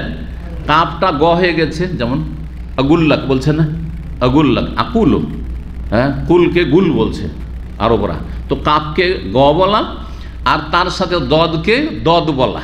তো দুটো মিলে কি হয়ে গেছে? তাকাদা তাকাদাটা কি হয়ে গেছে? তাগাদা তাগাদা হয়ে গেছে বাংলায়। তো এইরকম অনেক আরবি শব্দ কিন্তু বাংলায় ঢুকে আছে বা অন্য ভাষায় ঢুকে আছে। আমরা বিভিন্ন ভাষা না জানার কারণে বুঝতে পারি না, বুঝতে পারি না। কিন্তু আসলে শব্দগুলি হয়তো অন্য ভাষা থেকে এসেছে। বাবু তাকাদি বা তাকাদা তাকাদা তাকাদা থেকে তাকাজি মাস্তার এ অর্থ হয়েছে তাকাদা তাকাদা করা সম্পর্কে। অল মোলাজামা ফিল মাসি মসজিদে কোনো পাওনাদার ব্যক্তির পিছু করা, মোলাজমা তাকে ধরে নেওয়া মসজিদে দেখা হয়েছে, টাকা পাবেন দিচ্ছে না। এই ভাই, মসজিদে টাকাটা দেন না। আপনার কাছে এতদিন তো টাকাটা পড়ে আছে, ভাই, টাকাটা দেন, সময় হয়ে গেছে, টাকাটা দেন, ধার নিয়েছেন। মসজিদে বলা যাবে না যাবে না, যাবে। শোনেন, ভালো করে যাবে ব্যবসা করা যাবে না, কিন্তু টাকা চাওয়া, ধার পাওনা যদি থাকে কারও কাছে, তো পাওনাদার যে টাকা পাবে, সে টাকা চাইতে পারবে। শুধু তাই না, ধরতে পারবে, টাকা দিয়ে যান মসজিদে, এটা বলতে পারবে কিন্তু মারামারি শুরু করবে না। ঝগড়া শুরু করে কারণ মসজিদ ঝগড়া করার জায়গা নয় মসজিদ ঝগড়া করার জায়গা নয়, ভালো করে শোনেন। তো হাদিস চারশো সাতান্ন নম্বর। বলছেন আবদুল্লাহ বিন কাব বিন মালিক তার পিতা কাব বিন মালিক রাজি আল্লাহ তালা আনহম থেকে বর্ণিত, আন্নাহু তাকাদা ইবনা আবি হাদরাদিন এই কাব বিন মালিক প্রখ্যাত সাহাবি টাকা পেতেন ইব, আবদুল্লাহ ইবনে আবি হাদরাদের কাছে। আবু হাদরাদের ছেলে আবদুল্লাহর কাছে, ইবনে আবি হাদরাদের কাছে। তিনি তাগাদা করলেন কার কাছে? ইবনু আবি হাদরাদের কাছে। কি দাইনান একটা ঋণ পাওনা কান আল্লাহু আলিহে যা তার ছিল ওর কাছে। ফিল মসজিদে, এই তাগাদা কোথায় করেছিলেন? মসজিদে। মসজিদে দেখা যাচ্ছে, মসজিদে টাকাটা চেয়ে ফেলেছেন। ফারতাফাত আসওয়াত হমা কিন্তু টাকা দিতে পারব না এখন ভাই, পরে দেবো। আরে কতদিন এরকম করে দেরি করবেন? দিয়ে উচ্চ বাচ্চ শুরু হয়ে গেছে। আওয়াজ কি হয়ে গেছে দুইজনের? একটু উঁচা হয়ে গেছে কথা বলতে গিয়ে। তাদের দুইজনের আওয়াজ হ্যাঁ, জোরে হয়ে গেছে উচ্চ স্বরে তারা কথা বলা শুরু করেছেন। হাত্তা সামি আহমা রসুরুল্লাহ এমনকি রসুরুল্লাহ তাদের দুইজনের কথা শুনে ফেলেছেন নিজ কক্ষ থেকে। বাসায় ছিলেন না সলাৎ পড়ে চলে গেছেন। ওয়াফি বাইতি সেই সময় তিনি তার কক্ষে বাড়িতে ছিলেন। ফাখারাজ এর এইরকম ঝগড়া শুনে আওয়াজ জোরে কেন? মসজিদে হচ্ছে নবী সাল্লাহ সাল্লাম বেরিয়ে এসেছেন। হাত্তা কাসাফা সিজফা হুজরাতেহি। তার কক্ষের যে দরজায় পর্দাটি লাগানো ছিল, সে পর্দাটা খুলে দেখছেন যে কে কি করছে। দেখি তো এরকম চিল্লাচ্ছে কেন? ফান্নাদা তারপরে দেখছেন যে এই দুইজনকে তখন ডাক দিয়ে উচ্চ উচ্চস্বরে রসুল্লাহ বললেন, ইয়া কাব কাব কি ব্যাপার? তোমরা এরকম ঝগড়া কেন করছ? কাল লব্বাই কে রসুল আল্লাহ হে আল্লাহ রসুল, হাজির আছে। লাব্বাইক আল্লাহ নবী নবীকে বলবেন যে হাজির আছে। কিন্তু এখন কি বলা যাবে? কেউ যদি বেদাতিরা করে কিন্তু। মাজারপন্থী বেদাতিরা হ্যাঁ এখন নবী অবমাননা হচ্ছে, আবেগে, মহাব্বতে ইয়া রাসুল আল্লাহ জায়েজ নয়। জায়েজ শিরকি কথা এগুলো। নবীকে কেন ডাকবেন? লব্বাইক আল্লাহ লব্বাইক বলবেন। তলবিয়া, জি, তৌহিদ, জি হজ তৌহিদ শেখানোর জন্য। আর এখানে নবী সালাম ইন্তেকালের পরে কোন সাহাবি আর কেউ লব্বাইক ইয়া রাসুল আল্লাহ বলেননি, সুতরাং ইন্তেকালের পরে বলা যাবে। নবী সাল্লামের সামনে যাই শুধু নবী সাল্লাম না, আমরা যখন মাদ্রাসায় লেখাপড়া করেছি, তখন আমাদের হাজিরা খাতাতে হাজিরা নিতেন ওস্তাদেরা। তো আমরা দুটো শব্দ ব্যবহার করতাম। ছাত্ররা দুটো শব্দ ব্যবহার করতাম, কি কি জানেন? একটি হচ্ছে হাজির, আর আরেকটা হচ্ছে লব্বাইক লব্বাইক মানে হাজির। লব্বাইক মানে হাজির। তো সুতরাং যে কোনো ব্যক্তি বাপ ডাকছে, লব্বাইক ইয়া আবুই, লব্বাইক ইয়া আবি। হাজির? জি হ্যাঁ। যেমন আজকাল বসদের সামনে আরবদের ভদ্রতা, কোনো বস যদি ডাকে, হাজেরিন ওস্তাদ হাজেরিন, বহু বলছেন কি বলছে? হাজেরিন, আছি, উপস্থিত, জি। তো লাব্বাইক জীবদ্দোষে লাব্বাইকে আর রাসুল আল্লাহ বলেন, নবী সাল্লামকে, ফাঁকালা, কি হয়েছে ঘটনা এরকম? আমি ওর কাছে টাকা পাবো, দিচ্ছে না, এই দেরি করছে, হাত বাড়ি। আর আমার প্রয়োজন? তাহলে যা আমিন দাইনে হাজার ঠিক আছে বেচারা, অত টাকা দিতে পারছে না, তো তুমি কিছুটা মাফ করে দাও। এতটা অংশ অর্ধেক, অথবা এই রকম কিছু বললেন, অন্য হাদিসের সাতর মানে অর্ধেকটা তুমি মাফ করে দাও, অর্ধেকটা দিয়ে দিক। তাইলে এইরকম মীমাংসা করে দেওয়াটা কি? ভালো। কোনো যদি একটা গরিব মানুষ থাকে অভাবী, আর যেই ব্যক্তি ধার দিয়েছে, সেও সবটা ছাড়তে পারছে না। সবটা ছাড়ে তো সাদাকা হইল, জাকাতে চলবে না, কিন্তু এমনি সাদাকা হইল। জাকাতের জন্য যখন দেবেন, তখন থেকে নিয়ত করতে এই মশলা জেনে নেন। অনেকে ধার দিয়ে রেখেছি হ্যাঁ ও দিতে পারল না, গরিব হয়ে গেলে, বেচার হাত টানাটানি, যাক, এটা জাকাত থেকে মাইনাস করে দিলাম, না, জাকাত খেয়ে দিল হারাম, এটা যাইজ না কারণ জাকাত হচ্ছে ফরজ এবাদত দেওয়ার সময় আপনার নিয়ত থাকতে হবে যে, এটা আমি জাকাত দিচ্ছি। কথা বোঝা গেছে? তবে কাউকে ধার দেওয়ার সময় যদি নিয়ত করে নেন যে এটা আমি জাকাত, আমি বুঝতে পারছি ও দিতে পারবেন না, ও জাকাত চাও। তাহলে সেটা ভিন্ন বিষয়। কিন্তু আপনি, না, প্রথম ধার দিলাম, আর পরে দিতে পারেন আমাদেরকে অনেকে কিন্তু এই মশলা জিজ্ঞাসা করে যে এখন আমার অনেক আত্মীয়রা আছে, অনেক গরিব হয়ে গেছে, আর কখনো দিতেও পারবে না, তো এটাকে আমি জাকাতে কাটতি করতে পারব? হারাম, যাই না। কথা বোঝা গেছে? জি হ্যাঁ। কিন্তু সাদকা ঠিক আছে। অন্তা সাদ্দাকু খৈরুল্লাহ আল্লাহ বলেছেন। আর যদি পুরো না পারেন, আংশিক। সেটাও না পারেন, তাহলে সময়ে ছাড় দেন। ঠিক আছে ভাই, আপনাকে তো ছয় মাস সময় দিয়েছিলাম। চলেন এক বছর। চলেন দুই বছর। আপনি যখন পারেন তখন দেন, কিন্তু মাফ করতে পারব না। এটা অধিকার আছে। জি। তো নবী সাল বললেন যে, কিছুটা তোমার ঋণ কি করে দাও? তুমি রেখে দাও মানে মাফ করে দাও। ও আহমা এলেহি এই সাথে চলে এসছে। অর্ধেকটা অর্ধেকটা তুমি মাফ করে দাও। যত টাকা পাবে, অর্ধেক না, অর্ধেক মাফ করে দাও। নবী সাল সুপারিশ করলেন যাইস কাল আল্লাহ কাদ ফালতু ইয়া রসুল আল্লাহ আল্লাহ রসুল করে দিলাম ঠিক আছে, অর্ধেক মাফ, অর্ধেকটাই দিক। কালা কম, ইবিন আবি হাদরা বলে যাও, তুমি ফকজেহি এখনই পরিশোধ করো। পাও না, তুমি আদায় করো। এই ছিল হাদিস। তাহলে বোঝা গেল যে মসজিদে কারও কাছে টাকা পয়সা পেলে তাগাদা করা যাবে। আর যখন এইটা তাগাদা করা যাবে, তাহলে ও যদি পরিশোধ করে, তাও মসজিদের মধ্যে দিতে পারে। এটা ব্যবসা নয়। ঋণটা পরিশোধ করেছে, মসজিদে বসে, ভাই, আপনি টাকাটা পেতেন নিয়ে নেন। তা যাই এই না যে মসজিদের বাইরে চলে, তার মসজিদে টাকা পয়সা বের করা যাবে না। এরকম বাড়াবাড়ি আবার আছে অনেকের। মসজিদে টাকা পয়সা বের করা যাবে না, মসজিদে ধার দেওয়া যাবে না না, ধার দেওয়া যাবে, কিন্তু ব্যবসা করা যাবে না। কথা বুঝতে পেরেছেন? যেটা নিষেধ, সেটা শুধু নিষেধ। বাহাত্তর নম্বর অধ্যায়, বাবু কানসিল মসজিদে ওয়ালতে কাতিল খেরাকে ওয়াল কাজা ওয়াল ইদান এই অধ্যায় হচ্ছে মসজিদ ঝাড়ু দেওয়া। মসজিদ ঝাড়ু দেওয়া সবের কাজ সম্মানের কাজ, ছোট কাজ নয়। ওয়ালতে কাতিল খেরাক এবং খেরাক খেরকাতুনের বহু বচন, তেনা, নেকড়া যেটা বলি, তেনা। তেনা যদি পড়ে থাকে, তাহলে সেগুলি কুড়িয়ে নেওয়া মসজিদ থেকে। ওয়াল কাজা এবং হ্যাঁ কুটো। ওয়াল ঈদান, ঈদ উদ থেকে। উদের বহু বচন মানে খড়, লাকড়ি। লকড়ি, কাঠি, খড়কুটো যেটাকে বলি খড়কুটো। খড়কুটো অথবা কোনো ময়লা আবর্জনা, খেরাক ময়লা আবর্জনা তেনা পড়ে আছে, টিস্যু পড়ে আছে, আজকাল তেনা তো পড়ে থাকে না, কিন্তু টিস্যু পড়ে থাকছে, তাই না? তো টিস্যু মসজিদে পড়ে আছে অথবা ময়লা আবর্জনা পড়ে আছে, এগুলি মসজিদ থেকে পরিষ্কার করা আর মসজিদকে ঝাড়ু দেওয়া, এগুলি সম্পর্কে আলোচনা। আর এর জন্য কোনো ব্যক্তিকে নিযুক্ত করা ফার্রাস মসজিদের খাদেম নিযুক্ত করা সেটাও শরীয়ত সম্পদ রসুল্লাহ আসলাম আমলে মসজিদ নবীর খাদেম বা খাদেমা ছিল। যেমন ছেলে জায়েজ, ছেলে খাদেম তেমনই। মেয়ে খাদেমা মসজিদের খেদমতো জায়েজ, বাস ফেতনা মুক্ত থাকতে হবে। যেমন পুরুষদের মাঝে একাকার হয়ে যেন না হয় মহিলা সেকশনে পরিষ্কার করছে, অথবা এমন সময় মহিলা পরিষ্কার করছে, মসজিদ যেই সময় কোনো পুরুষ নেই, দরজা বন্ধ করে দেয়, তারপর ছাপ করে দিয়ে চলে গেল, তাতেও কোনো অসুবিধা নেই।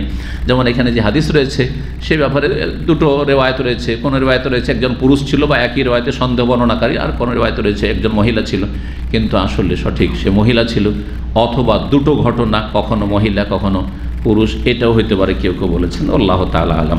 চারশো আঠান্ন নম্বর হাদিস, আবু রাজি আল্লাহ তালানো থেকে বর্ণিত, আন্না রাজুলান আসওয়াদ, জনৈক একজন কালো ব্যক্তি। তাহলে যে মসজিদের খাদেম, যে মসজিদ ঝাড়ু দিত, ঝাড়ুদার, সে কালো ছিল মানে হাবাসি ছিল। আফ্রিকার লোক। আও ইমরাতান সাউদা অথবা একজন কালো মহিলা। জি। কানা ইয়াকুম্মুল মসজিদা, মসজিদ ঝাড়ু দিত।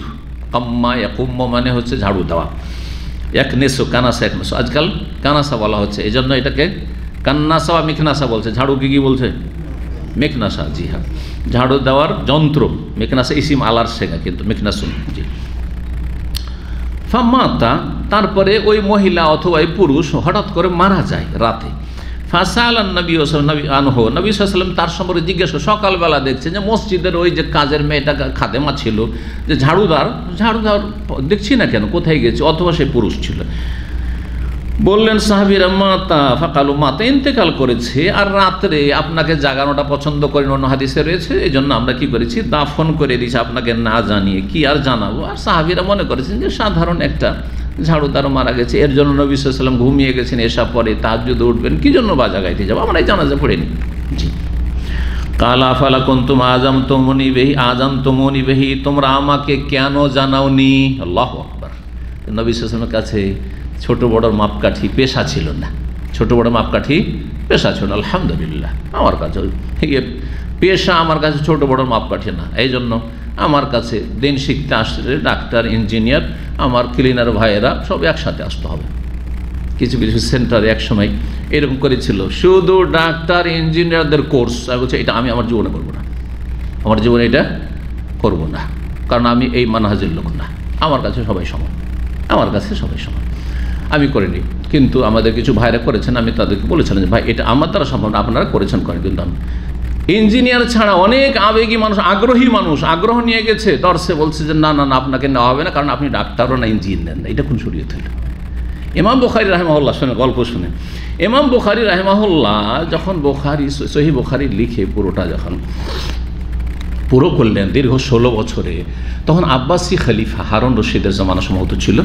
তিনি বললেন যে যদি ভুল হয়, আল্লাহ আলম, কোনো একজন খলিফার জামানা আব্বাসী যুগ ছিল।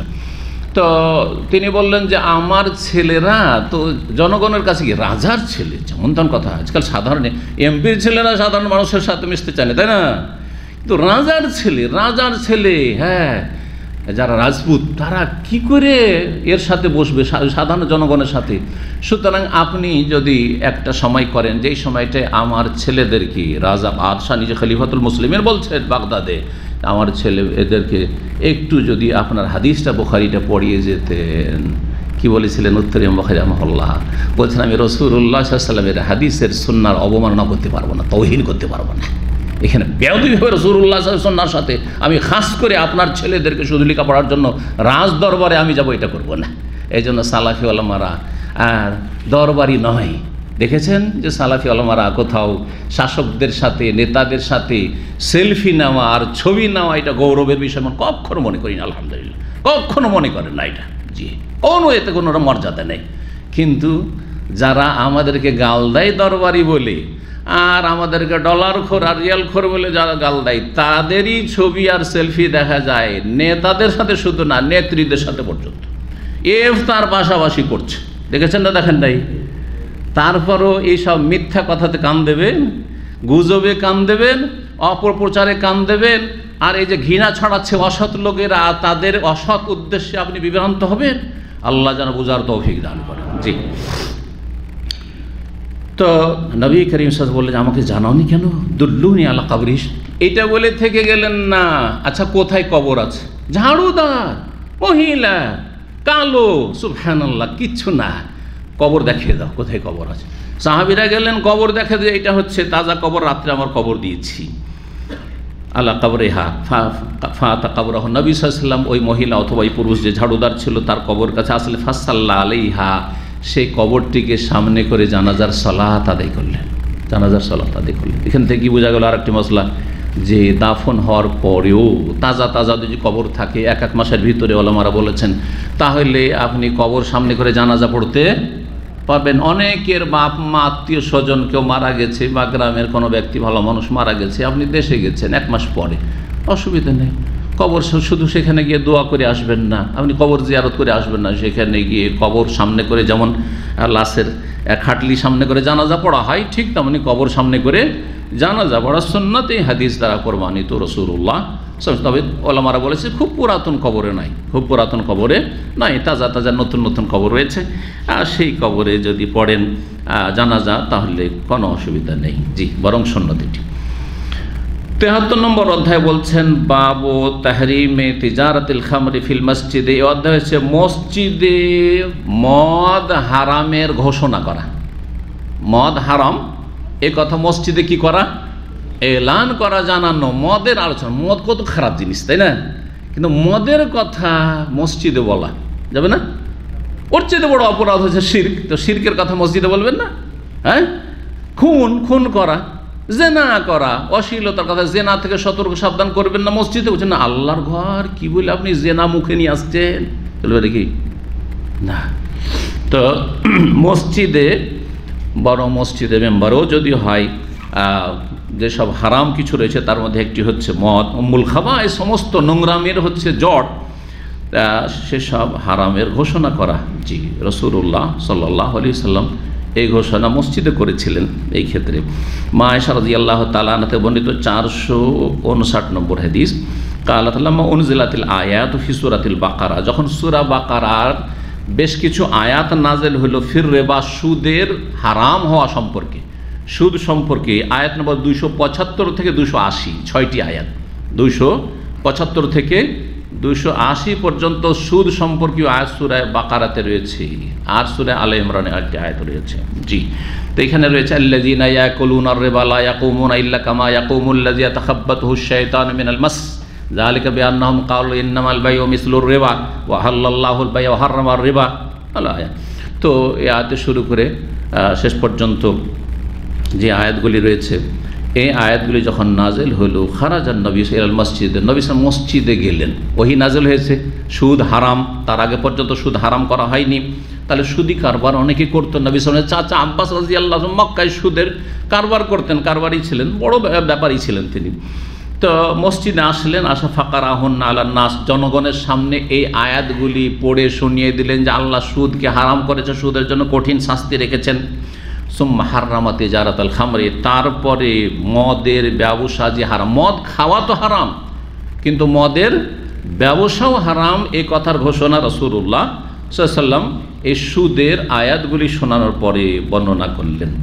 এই ছিল হাদিস। তাহলে মসজিদে মদের আলোচনা করা, মদ থেকে সতর্ক করা, অথবা যে কোনো অপরাধ, ক্রাইম সম্পর্কে সতর্ক করার প্রমাণ রসুল্লাহ সাম থেকে রয়েছে। আর একটি অধ্যায় দিয়ে শেষ করে, বাবুল খাদাম লিল মসজিদ, মসজিদের খাদেম নিযুক্ত করা। মসজিদের খাদেম নিযুক্ত করা। মসজিদের খাদেম নিযুক্ত করা যায় কিনা? এখানে জায়েজ তো বলছে, দলিল দেন তো, দলিল দেন। তা দলিল নেওয়ার জন্য কি করতে হবে? কোরআনে করিমের জ্ঞান থাকতে হবে অথবা রসুল্লাহ সাল্লামের সন্না হাদিসের জ্ঞান থাকতে হবে, তো এটাই ফায়দা। তো এখানে দেখেন, হাদিসে কি বলা হচ্ছে? বলছেন ওকাল বিন আব্বাস, আবদুল্লাহ বিন আব্বাস রাজি আল্লাহ তালান আয়াতের তফসিরে বলেছেন, সুরে আল ইমরান আয়াত নম্বর পঁয়ত্রিশ। জি ওয়াইদ কালাত ইমরাত ইমরানা ইমরানের স্ত্রী যখন বলেছিল, স্মরণ করো এন্নি নজরতুল্লাহ মাফি বতনি মোহাররা হে আল্লাহ, তোমার সন্তুষ্টির জন্য, তোমার উদ্দেশ্যে আমি আমার গর্ভে যেই সন্তান রয়েছে, গর্ভধারণ করেছি, সেটিকে মান্যত করলাম, তোমার ঘরের খাদেম হিসাবে আমি ছেড়ে দেবো। কোন ঘর উদ্দেশ্য করেছিলেন? যেহেতু বাস করতেন প্যালিস্টাইনে বাইতুল মোকাদ্দাসের কাছে। বাইতুল মোকাদ্দাসের খাদেম হিসাবে আমি আমার গর্ভে যা আছে যখন জন্মিবে এটাকে তোমার রাস্তায় ছেড়ে দেবো, আল্লাহ। মসজিদের খেদমত করবে। বাইতুল মোকাদ্দাস বাইতুল মোকাদ্দাস বা মসজিদ আকসার খেদমত করবে। জি। তার নাম তফসির কিতাবেতে হান্না রয়েছে। নামে কোনো যায় আসে না, এর নাম হোক আর নাই হোক। এক কথায় ছিলেন তিনি কে? মারিয়াম আলাইহাসাল্লামের মা। ঈসা আলি ইসলামের নানি, ঈসা আলি ইসলামের নানি ইমরাত ইমরান। ইমরানের স্ত্রী, তাহলে ইমরান নামটি কোরআনে এসেছে, ইমরানের স্ত্রী তিনি ছিলেন। আর ইমরান হচ্ছে তাহলে মারিয়ামের হ্যাঁ বাপের নাম, ঈসা আলি ইসলামের নানার নাম হচ্ছে ইমরান।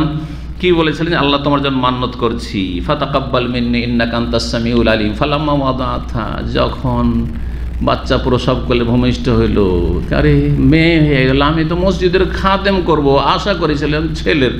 অধিকাংশ মানুষের বড় আশা থাকে যে আমার কি হবে? ছেলে হবে। তো যদি আশা থাকে সেটা আপত্তিকর না। কিন্তু আশানুরূপ যদি না হয়, আশার বিপরীত হয়, তো মুখ কালো করা, মন ছোট করা, এটা হচ্ছে জাহিলিয়াত। খবরদার এটা না হয়। ছেলে হইলে মাশাল্লাহ বন্ধু বান্ধব মহলে নিয়ে চলে আসো পাঁচ কিলো মিষ্টি ইসলাম সেন্টারে। আর যদি মেয়ে হয়, তো চুপচাপ গোপনে রেখে দিয়েছে কাউকে জানতেও দেয়নি। কথা বোঝা গেছে? হারাম তাহলে আপনার অন্তর খারাপ, আল্লাহ জানছেন। আল্লাহর বরকত দেবেন না। এই জন্য অন্তরটাকে উদার রাখেন আলহামদুলিল্লাহ। এই মেয়েতে যে আমার উপকার আছে, সেটা আল্লাহ বেশি জান, আমি জানি না। বলে কেন কাল অনুসা আল্লাহ এই জন্য বলেছেন, আরে, অনেক পুরুষ আছে, মেয়ের মতো নয়। মেয়ে কে ছিল? যে মেয়ে জন্ম নিয়েছিল? মারিয়াম। মারিয়ামের মতো কয়জন পুরুষ আছে? আমরা কেউ না। মারিয়াম আলহিসামের মতো আমরা কেউ না। সুবহান আল্লাহ আম্বিয়া রসুল ছাড়া মারিয়াম আলি ইসলামের পর্যায়ের মানুষ খুব কমই আছে। চিন্তা করেন তাহলে, আজকালকার জামানা তো নেই সাহাবাইকারদের জামানাটা সেটা ভিন্ন কথা। তা তারপরও শ্রেষ্ঠত্ব ঈসা আলি ইসলামের মায়ের জন্য। জি, হাদিস দ্বারা প্রমাণিত। তো যখন এলো, আল্লাহ রব্বিনী অজাত হনসা। আল্লাহ তো মেয়ে সন্তান হয়ে গেলে কেমন করে মসজিদের খেদমতে দেবো? তারপর আল্লাহ রাস্তায় দিয়ে দিলেন।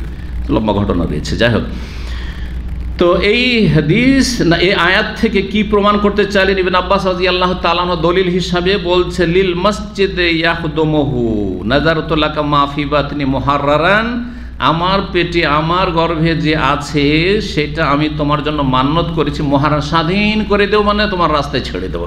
মহারান লিল মসজিদ, মসজিদের জন্য ইয়াহদম যে মসজিদের, বাইতুল মোকাদ্দাসের খেদমত করবে। তাহলে মসজিদের খেদমতে ছেলে অথবা মেয়েকে দেওয়া জায়েজ রয়েছে বরং নেকির কাজ, তবে মেয়ের ক্ষেত্রে যেন ফেতনা মুক্ত হয়, অথবা নাবালিকা হয়। চারশো ষাট নম্বর হাদিস, আবু রাজি আল্লাহ তালান থেকে বর্ণিত। ওই আগের হাদিসে ইন আমরাতান বা আন্না আমরাতান ও রাজুলান, একজন মহিলা, জনৈক মহিলা, অথবা কোনো পুরুষ, কানা কোন মসজিদ মসজিদ নবীর ঝাড়ু দিত। আর তারপরে একজন বর্ণনাকার ওয়াল্লা ও রাহু ইল্লাম রাতান কিন্তু আমার মনে হচ্ছে সে ছেলে ছিল না, একজন মহিলা ছিল পুরুষ ছিল না, একজন মহিলা ছিল এটি বেশি শক্তিশালী। নবী সাহেব সেই হাদিস বর্ণনা করলেন, আর আন্নাহু সাল্লাহ আল্লাহ কাবরিহি। রাতে যেহেতু জানাজা হয়ে গেছিল, সকালে জানতে পেরে নবী সাল্লাম কবর বললেন, কবরটা দেখিয়ে দাও। কবরটা দেখিয়ে দাও যে বললেন, এখান থেকে কী শিক্ষা পেলেন? বলেন, নবী আলেমুল গায়েব না। যদি গায়েব জানতেন, বেরলবি আকিদা, যে নবীরা আলেমুল গায়েব, তাহলে কি এরকম করাটা ঠিক? নবী সাল্লাল্লাহু আলাইহি জানছেন যে কোথায় কবর হয়েছে, জানছেন যে মারা গেছে ও তক্ষরি উঠে চলে আসবেন, আবার জানাওনি কেন বলবেন আবার? হ্যাঁ? জানাওনি কেন এক বললেন? তাহলে না জানার কারণে জানতে পারেননি নবী সাল্লাম যে মেয়েটি মারা, মহিলাটি মারা গেছে। আর তারপরে কবর হয়েছে, ওটাও জানেন না যে কোথায় কবর হয়েছে, তাই না? সুবহান আল্লাহ তারপরে নবীকে আলমুল গায়ে ভাজেন নাজির। আল্লাহ হেদায়ত করবে সব কুমরা পথভ্রষ্টদেরকে সিরকি বড় সিরকি আকিদা আঁকিয়ে আকিদা। তো আন্নাহসাল্লাহ আল্লাহ কবরি নবী সাল্লাম তাঁর কবরকে সামনে রেখে জানাজার সালাত আদায় করলেন। এখানে আজকের আলোচনা শেষ করছি। ওসল্লা সাল্লাম নবীনা মোহাম্মদ ওয়ালা আলহি ওসাহবিহি আজমাইন।